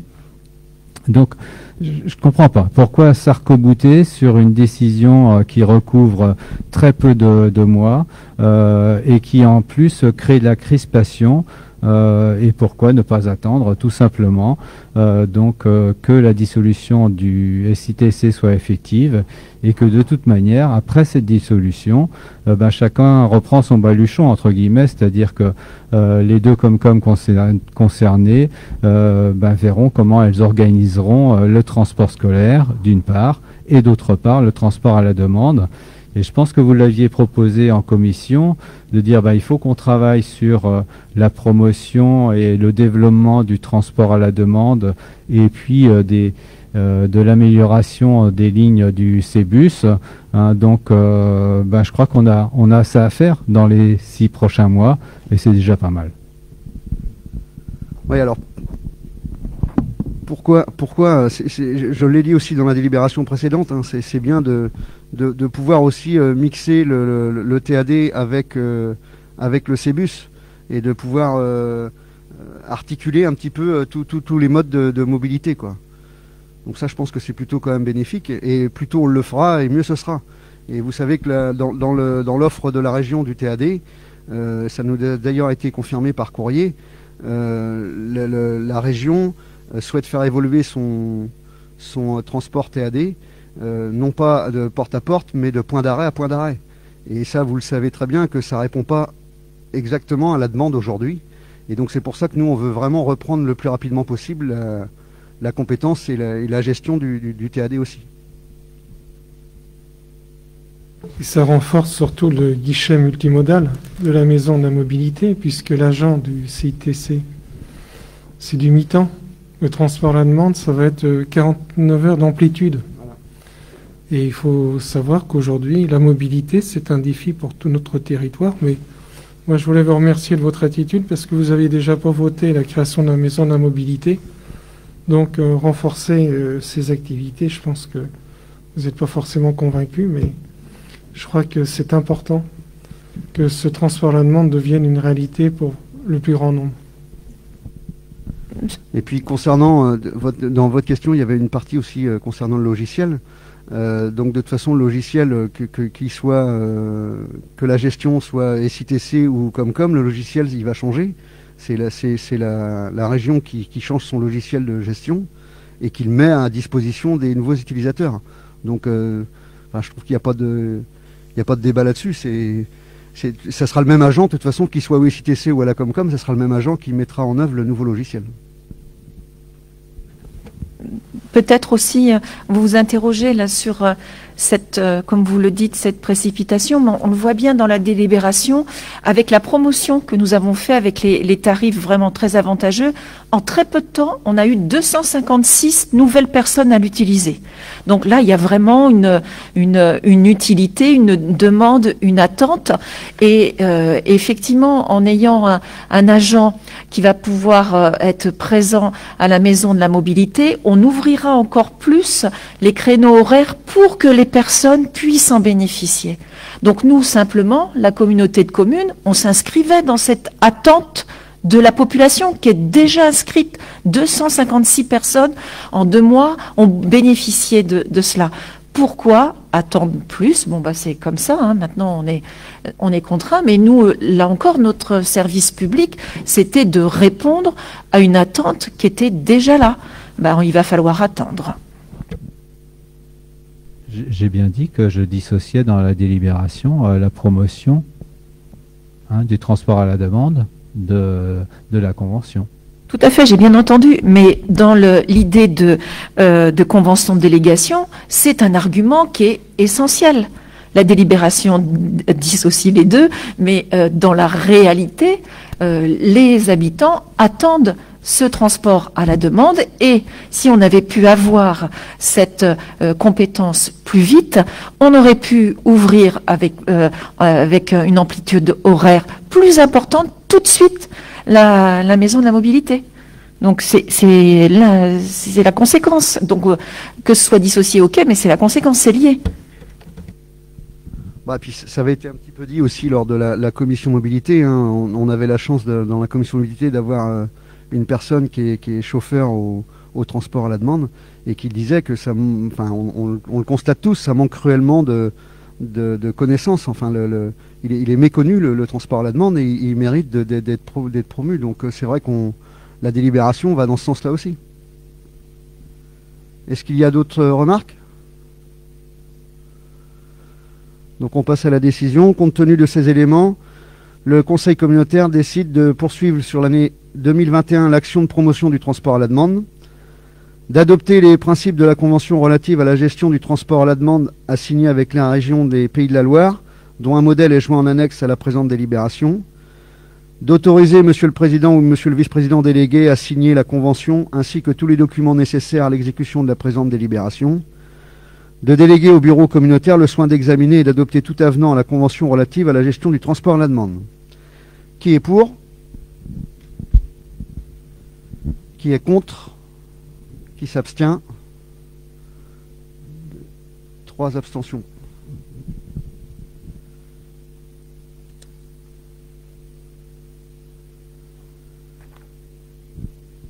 Donc délibération numéro 148, euh, aménagement de liaison douce entre la plateforme de regroupement des autocars scolaires et le pôle scolaire public lycée-collège à Châteaubriand. Par délibération du 14 novembre 2019, la communauté de communes a adopté en première lecture un plan global de déplacement 2020-2025 qui se fixe parmi ses orientations stratégiques d'aider les mobilités douces en poursuivant l'aménagement de bandes, pistes et cheminements pour les deux roues et les piétons.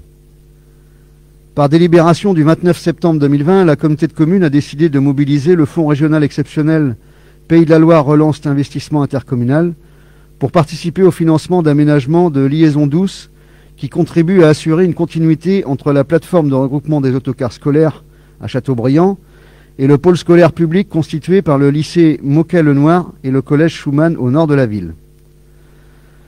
Ces aménagements vont faciliter le- les déplacements à pied et à vélo des élèves entre ces deux équipements à rayonnement intercommunal. La plateforme regroupe 50 autocars transportant 2422 élèves chaque jour durant la période scolaire. Le pôle scolaire public compte 1756 élèves. Une étude de faisabilité et les, concertations menées avec la CNCF permettent de confirmer et préciser le tracé de ces aménagements qui vont résorber deux discontinuités sur les sections suivantes. Un tronçon utilisant un ancien pont ferroviaire pour éviter deux giratoires routiers peu sécurisants pour les cyclistes afin de relier la voie verte arrivant de Nantes et la plateforme de regroupement d'autocars scolaires au pôle tertiaire des Voselles et la bande cyclable en direction de la gare. Un tronçon longeant la voie ferrée Rennes-Châteaubriand entre les passages à niveau de la rue des 27 otages et de la rue du Maréchal Foch, passant sur un pont ferroviaire pour éviter un itinéraire en centre-ville plus long et dénivelé et facilitant l'accès vers le pôle scolaire public et le départ de la voie verte en direction de Segré Anjou Bleu. Il convient de noter que deux stations de libre-service de vélo assistance électrique sont d'ores et déjà implantées sur cet itinéraire, à la Maison de la Mobilité et sur le pôle scolaire public. L'itinéraire va également faciliter les déplacements à vélo des 3000 salariés des 150 entreprises situées dans la zone d'activité économique Horizon vers le centre-ville et la gare ferroviaire. Il contribuera également à rendre plus aisé l'accès à vélo pour les 2000, habit- les 2000 habitants du quartier prioritaire de la, ville rose, au pôle tertiaire des Voselles, 220 emplois, où se situent notamment les antennes de la caisse al- d'allocation familiale et de la caisse d'assurance maladie et prochainement le centre de formation du Greta sur le site Acier. L'État ayant lancé un appel à projet au titre du Fonds Mobilité Active pour apporter un financement complémentaire aux aménagements cyclables, contribuant à réduire les discontinuités.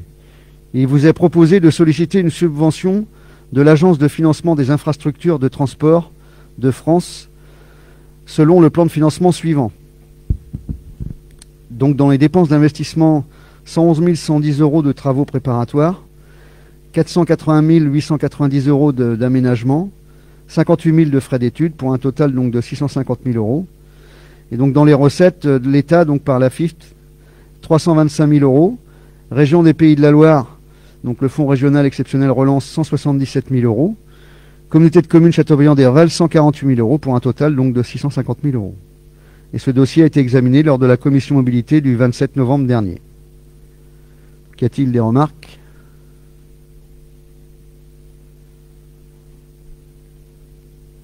Donc on passe à la décision. Compte tenu de ces éléments, le Conseil communautaire décide d'approuver les tracés des liaisons douces entre la plateforme de recoupement des autocars scolaires et le pôle scolaire public lycée-collège à Châteaubriand, de solliciter l'aide de l'État via l'Agence de financement des infrastructures de transport de France à hauteur de 325 000 euros dans le cadre de l'appel à projet du Fonds Mobilité Active, de confirmer la sollicitation de l'aide du Fonds régional exceptionnel Pays de la Loire Relance Investissement Intercommunal à hauteur de 177 000 euros selon le plan de financement précisé. De déléguer au bureau communautaire le soin de procéder à tout ajustement du plan de financement si nécessaire, d'autoriser Monsieur le Président ou Monsieur le Vice-président délégué à signer tous les documents nécessaires à l'exécution de la présente délibération. Qui est pour? Qui est contre? Qui s'abstient? Deux abstentions.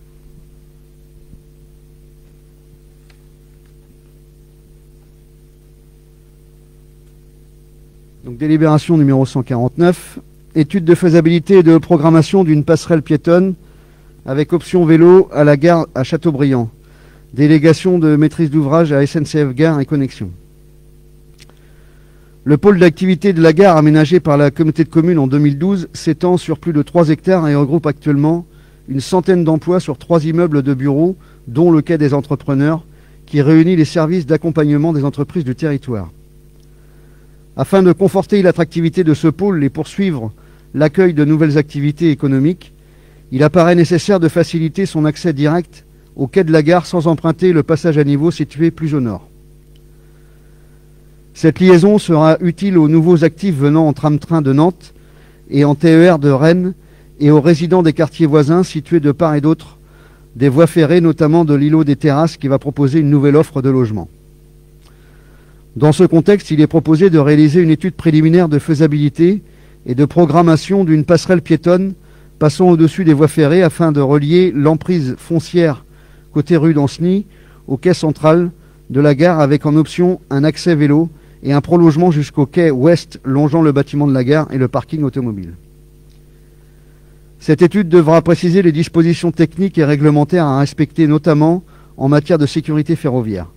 La conception de l'ouvrage accessible aux personnes à mobilité réduite, avec les caractéristiques des ascenseurs, son statut d'installation ouverte au public ou d'établissement recevant du public, l'enveloppe budgétaire intégrant les coûts d'études, d'investissement et de fonctionnement, et le calendrier prévisionnel détaillé des différentes étapes pour mener à bien sa réalisation. Il est proposé de confier la maîtrise d'ouvrage de cette étude par délégation à SNCF Gare et Connexion, selon les termes fixés dans la convention jointe en annexe, avec une réalisation par le pôle ingénierie de SNCF Réseau. Le coût de la prestation est estimé à 62 400 euros. Ce dossier a été examiné lors de la commission mobilité du 27 novembre dernier. Y a-t-il des remarques? Ce que je ne comprends pas, c'est qu'on a déjà parlé de cette histoire de passerelle. Euh, euh, ça date, hein, ça date un peu, ça date de 2014.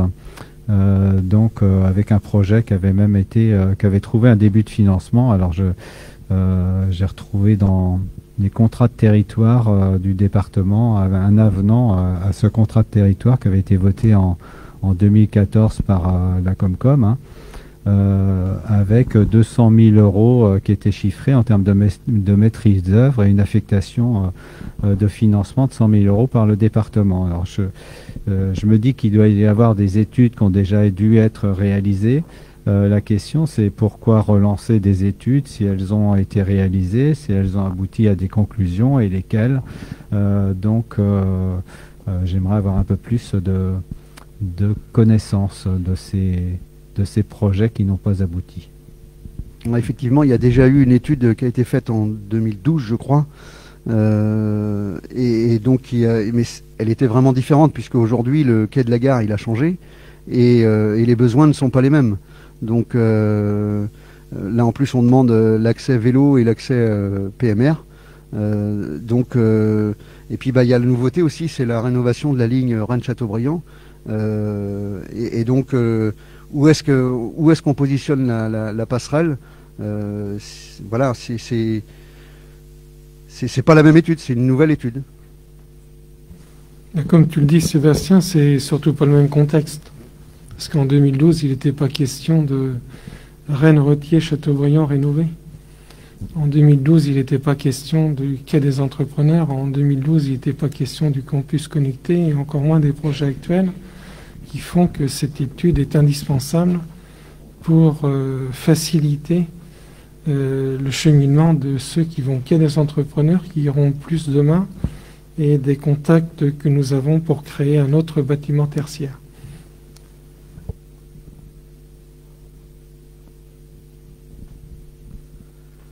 Euh, y a-t-il d'autres remarques? Donc la décision, compte tenu de ces éléments, le Conseil communautaire décide de réaliser une étude de faisabilité et de programmation d'une passerelle piétonne avec option vélo à la gare de Châteaubriand, d'adopter la convention de délégation de maîtrise d'ouvrage assignée avec SNCF Gare et Connexion, d'autoriser Monsieur le Président ou Monsieur le Vice-président délégué à signer la convention ainsi que tous les documents nécessaires à l'exécution de la présente délibération. Qui est pour? Qui s'abstient? Qui est contre? Merci. concernant l'environnement, on a trois délibérations. Hein. donc la première euh, sur le SPANC, hein, la 150. le service public d'assainissement non collectif de la communauté de communes de Châteaubriand-Derval est assuré selon deux modes de gestion différents, issus des établissements publics de coopération intercommunale historiques du Castel-Briantais et du secteur de Derval.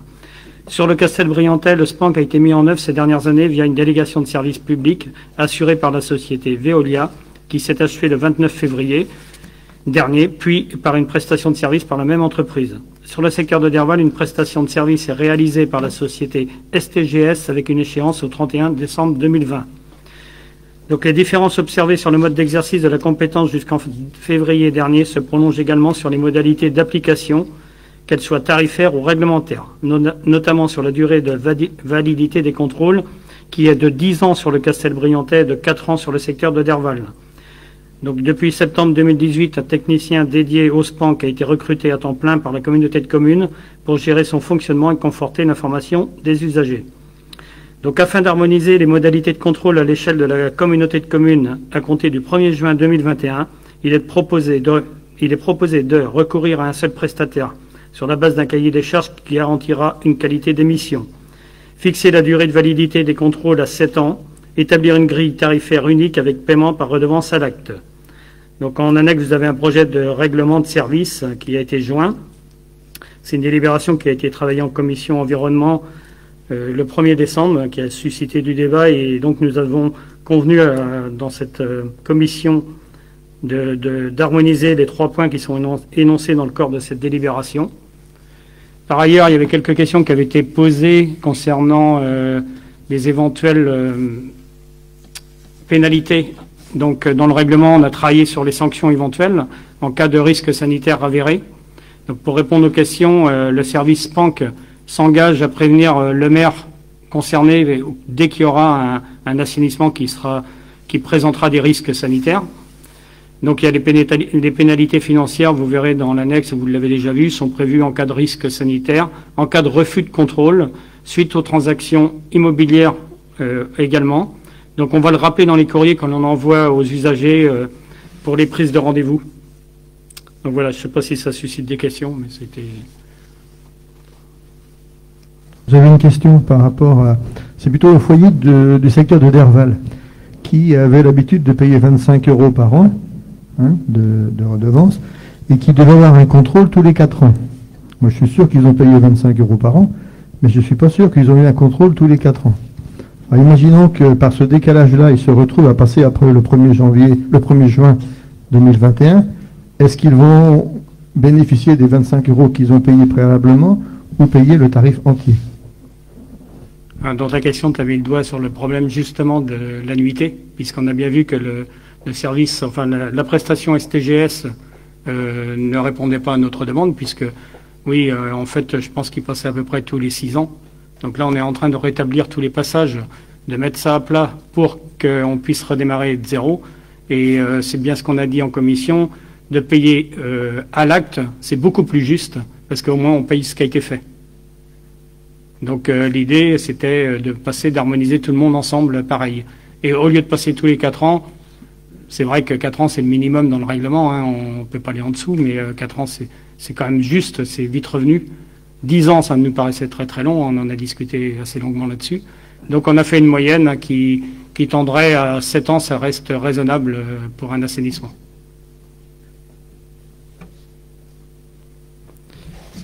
Je ne sais pas s'il n'y a pas d'autres questions, on va passer à la... Juste, euh, juste une observation euh, positive, euh, profitez-en. donc moi je voudrais dire que je me réjouis hein, donc, que l'harmonisation soit possible sur ce dossier hein, qui était quand même assez épineux, que sur le choix de, la délégation plutôt qu'un choix en régie, je crois que le technicien responsable euh, nous a bien expliqué euh, donc euh, les conditions de mise en œuvre d'un service en régie, hein, qui était quand même assez difficile à, tenir. donc c'est un choix pragmatique, je crois que je l'ai dit comme tel en commission, et voilà, satisfaction que ce dossier aboutisse. Merci. Et c'est vrai que le travail en régie, c'était compliqué en termes humains et financiers. Donc le choix a été fait comme ça. Donc voilà, dans la décision, compte tenu de ces éléments, le Conseil communautaire décide d'approuver l'évolution du service public d'assainissement non collectif par le recours à un prestataire de service unique à l'échelle du territoire intercommunal, de lancer une consultation pour choisir l'opérateur qui assurera les missions de contrôle et de prolonger de cinq mois les marchés avec les prestataires actuels, de fixer la durée de validité des contrôles à sept ans, de choisir le paiement de la redevance à l'acte et d'adopter le règlement de service et d'autoriser enfin Monsieur le Président, le vice-président délégué à signer tous les documents nécessaires à l'exécution de la présente délibération. Qui est contre? Qui s'abstient? Merci, voté à l'unanimité. Donc la deuxième délibération, la 151, donc adoption du procès verbal de mise à disposition des ouvrages sur le Rollard avec la ville de Châteaubriand et l'avenant au protocole organisant le transfert de la compétence de défense contre les inondations avec l'EPTB. Par délibération du 14 décembre 2017, le Conseil communautaire a transféré sa compétence de défense contre les, inondations à l'établissement public territorial du bassin de la Vilaine.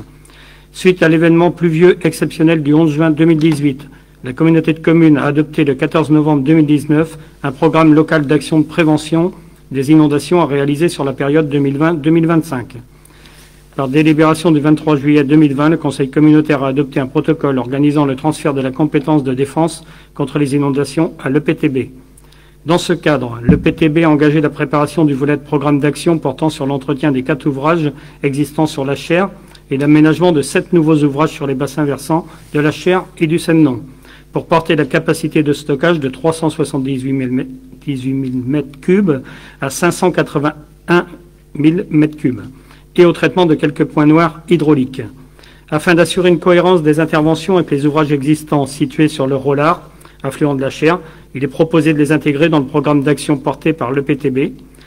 Cela nécessite que le propriétaire de ces ouvrages dénommés Launay Prieur 1 et Launay Prieur 2 les mette à disposition de la communauté de communes pour qu'elle puisse autoriser l'EPTB à intervenir sur ceux-ci. Donc un procès verbal de mise à disposition est proposé en annexe à la présente délibération pour formaliser la remise de ces biens à titre gratuit de la ville de Châteaubriand à la communauté de communes en application de l'article L 1321-2 du Code général des collectivités territoriales un avenant au protocole organisant le transfert de la compétence de défense contre les inondations avec le PTB, joint en annexe à la présente délibération, intègre ces ouvrages et précise les modalités d'assistance technique, d'assistance à maîtrise d'ouvrage et de maîtrise d'ouvrage avec le détail des opérations et leur estimation financière sur la période 2020-2026. Donc le coût de sa mise en œuvre sur 7 ans est ajusté, hein, à 4 511 902 euros. Le Fonds de prévention des risques naturels majeurs est sollicité via le programme d'action de prévention des inondations du bassin de la Vilaine à hauteur de 884 960 euros pour réduire le reste à charge de la communauté de communes à un montant de 3 626 942 euros. Donc le dossier est examiné également en commission environnement. Donc désormais, le PTB aura en charge la gestion des barrages de l'Onet-Prieur 1 et 2, au même titre que Checheux, l'Alleux, le Nicoquet, la Blanche des Roches, dans le cadre de notre protection inondation. Et en plus, euh, je vous rappelle qu'on a celui aussi de la forge à Moidon, mais qui n'est pas dans la protection inondation. Voilà. S'il n'y a pas de questions, je passe à la décision. Si, moi, je voudrais, ah, je voudrais te faire une petite remarque, c'est que je pense qu'il y a d'autres barrages qui, qui contribuent aussi à régler les inondations euh, qui sont plus en aval et on n'en parle jamais. Ben, moi, je connais que cela pour l'instant, puisqu'on n'a pas eu d'autres demandes, mais euh, je pense que tu fais bah, je, fais allusion, euh, je fais allusion à la Unodière parce que c'est quand même un, Attention, c'est un, gros barrage. Oui, mais ce qui protège des. Ça dépend ah du bah, niveau de protection qu'il y a à protéger derrière. Hein. C'est le PTB, c'est fixé. Euh, je ne sais pas s'il en fait partie. De celui de, Mo... celui de Moidon, c'est un peu le même cas. Et du coup, il n'est pas dans la protection inondation. Parce qu'il n'y a pas les risques avérés qu'il y a forcément sur Soudan ou Châteaubriand euh, sur les autres. Je ne sais pas si c'est vrai. Déjà, on n'a pas eu de demande officielle, hein, je le prends là. Euh, non, après, je ne savais faire une demande officielle. Bah, peut-être qu'il faudra qu'on travaille. Hein. Moi, je ne sais pas, il y a des critères de, il y a des critères qui retiennent ces ouvrages. Je ne le connais pas, je ne vais pas te dire si. Donc, euh, éventuellement, mais il faudrait qu'on y travaille. Je pense, c'est la proposition. On verra ça avec le PTB. Non, non, mais je pense qu'il faut leur en parler quand même. Bah, c'est le PTB, mais je rappelle quand même qu'au final, c'est quand même la, la Comcom qui finance ça. Donc voilà, plus on en mettra, plus ça coûtera cher aussi. C'est pas dans le socle commun de l'EPTB aujourd'hui, hein, c'est la carte. Donc on, en reparlera, euh, Bruno. Hein. Donc décision. Euh, compte tenu de ces éléments, le Conseil communautaire décide d'adopter le procès verbal de mise à disposition des ouvrages Launay Prieur 1 et Launay Prieur 2 sur le Rollard avec la ville de Châteaubriand, d'adopter l'avenant protocole organisant le transfert de la compétence de défense contre les inondations avec le PTB pour la période 2020-2025 de déléguer au bureau communautaire le soin d'adopter tout, nouvel avenant au protocole avec le PTB Vilaine. Et enfin d'autoriser Monsieur le Président, Monsieur le Vice-président délégué à signer tous les documents nécessaires à l'exécution de la présente délibération. Qui est pour? Est-ce qu'il y a des contre? Des gens qui s'abstiennent? Merci à l'unanimité.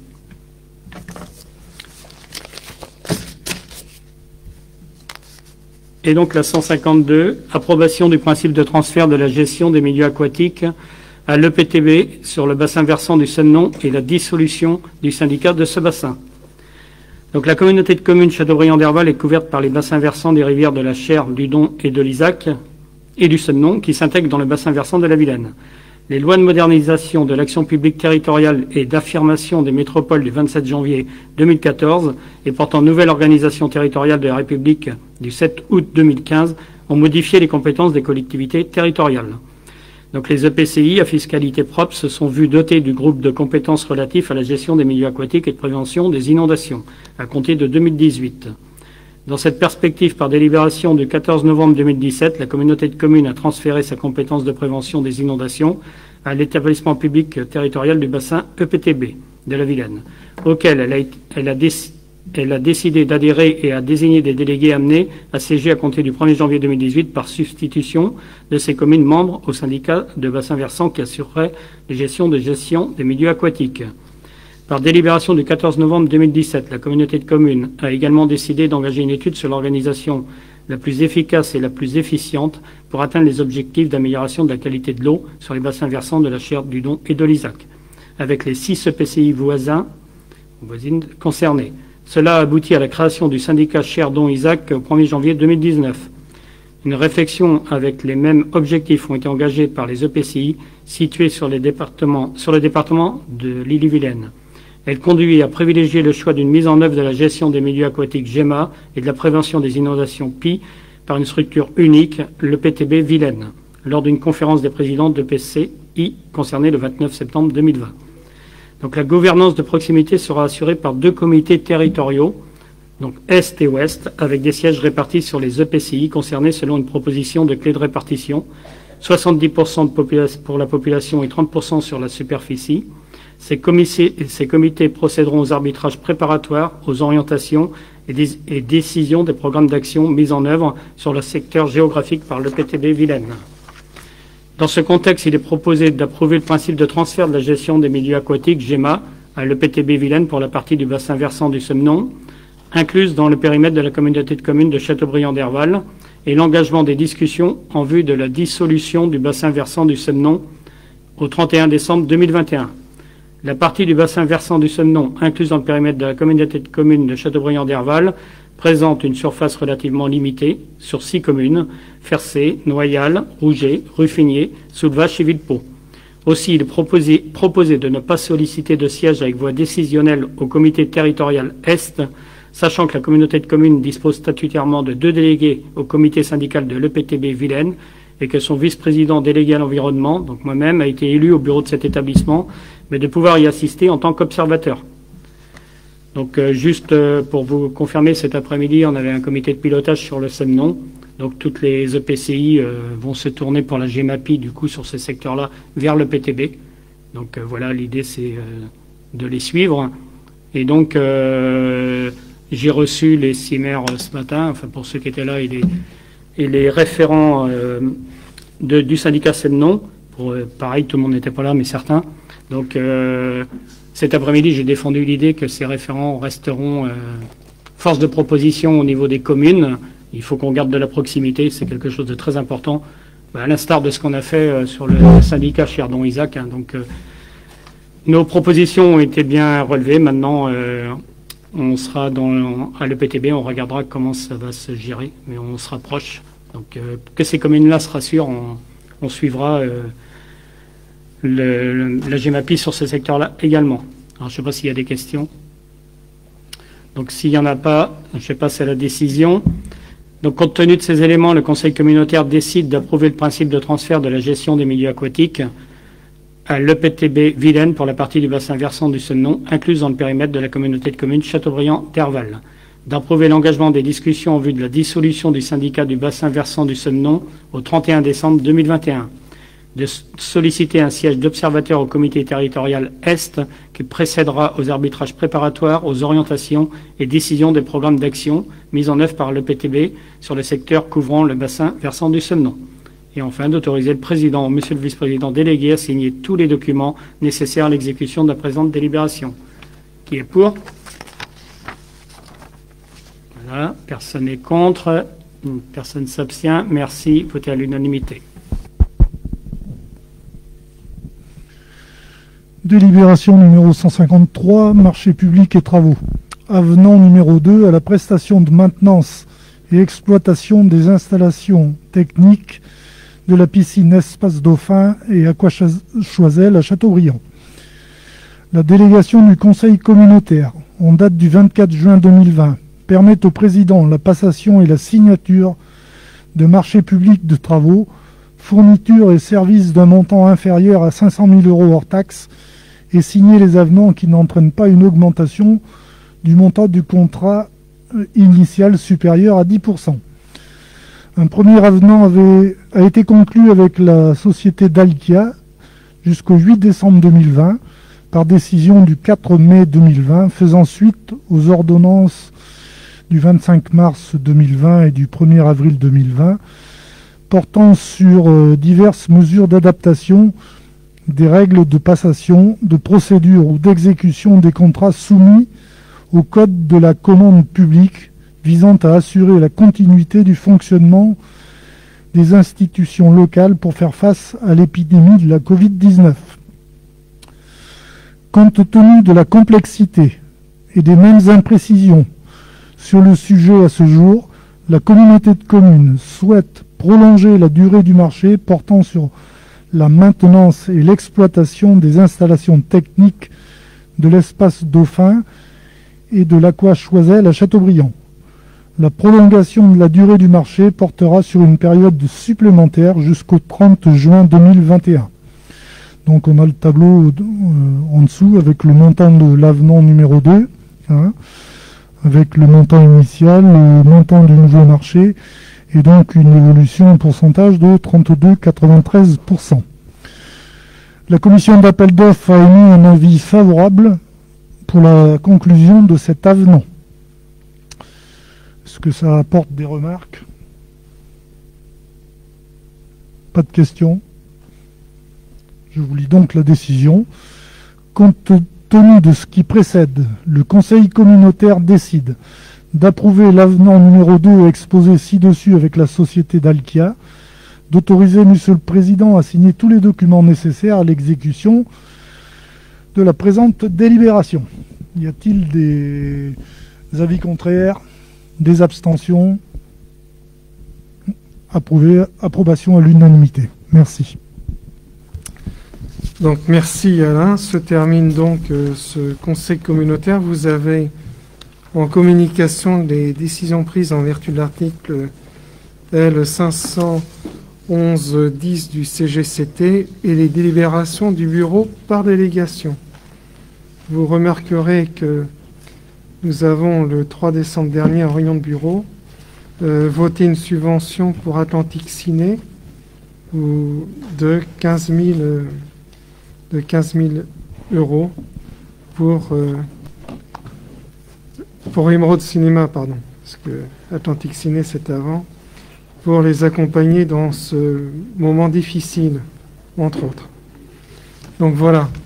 je voulais aussi vous remercier puisque les nouvelles équipes, la nouvelle équipe du conseil communautaire s'est installée le 4 février, le 4 juin, pardon. Depuis le 4 juin, nous avons eu 5 euh, conseils communautaires, adopté 127 délibérations, il y a eu 10 bureaux communautaires, il y a eu 11 conférences des maires et surtout, il y a eu 38 commissions.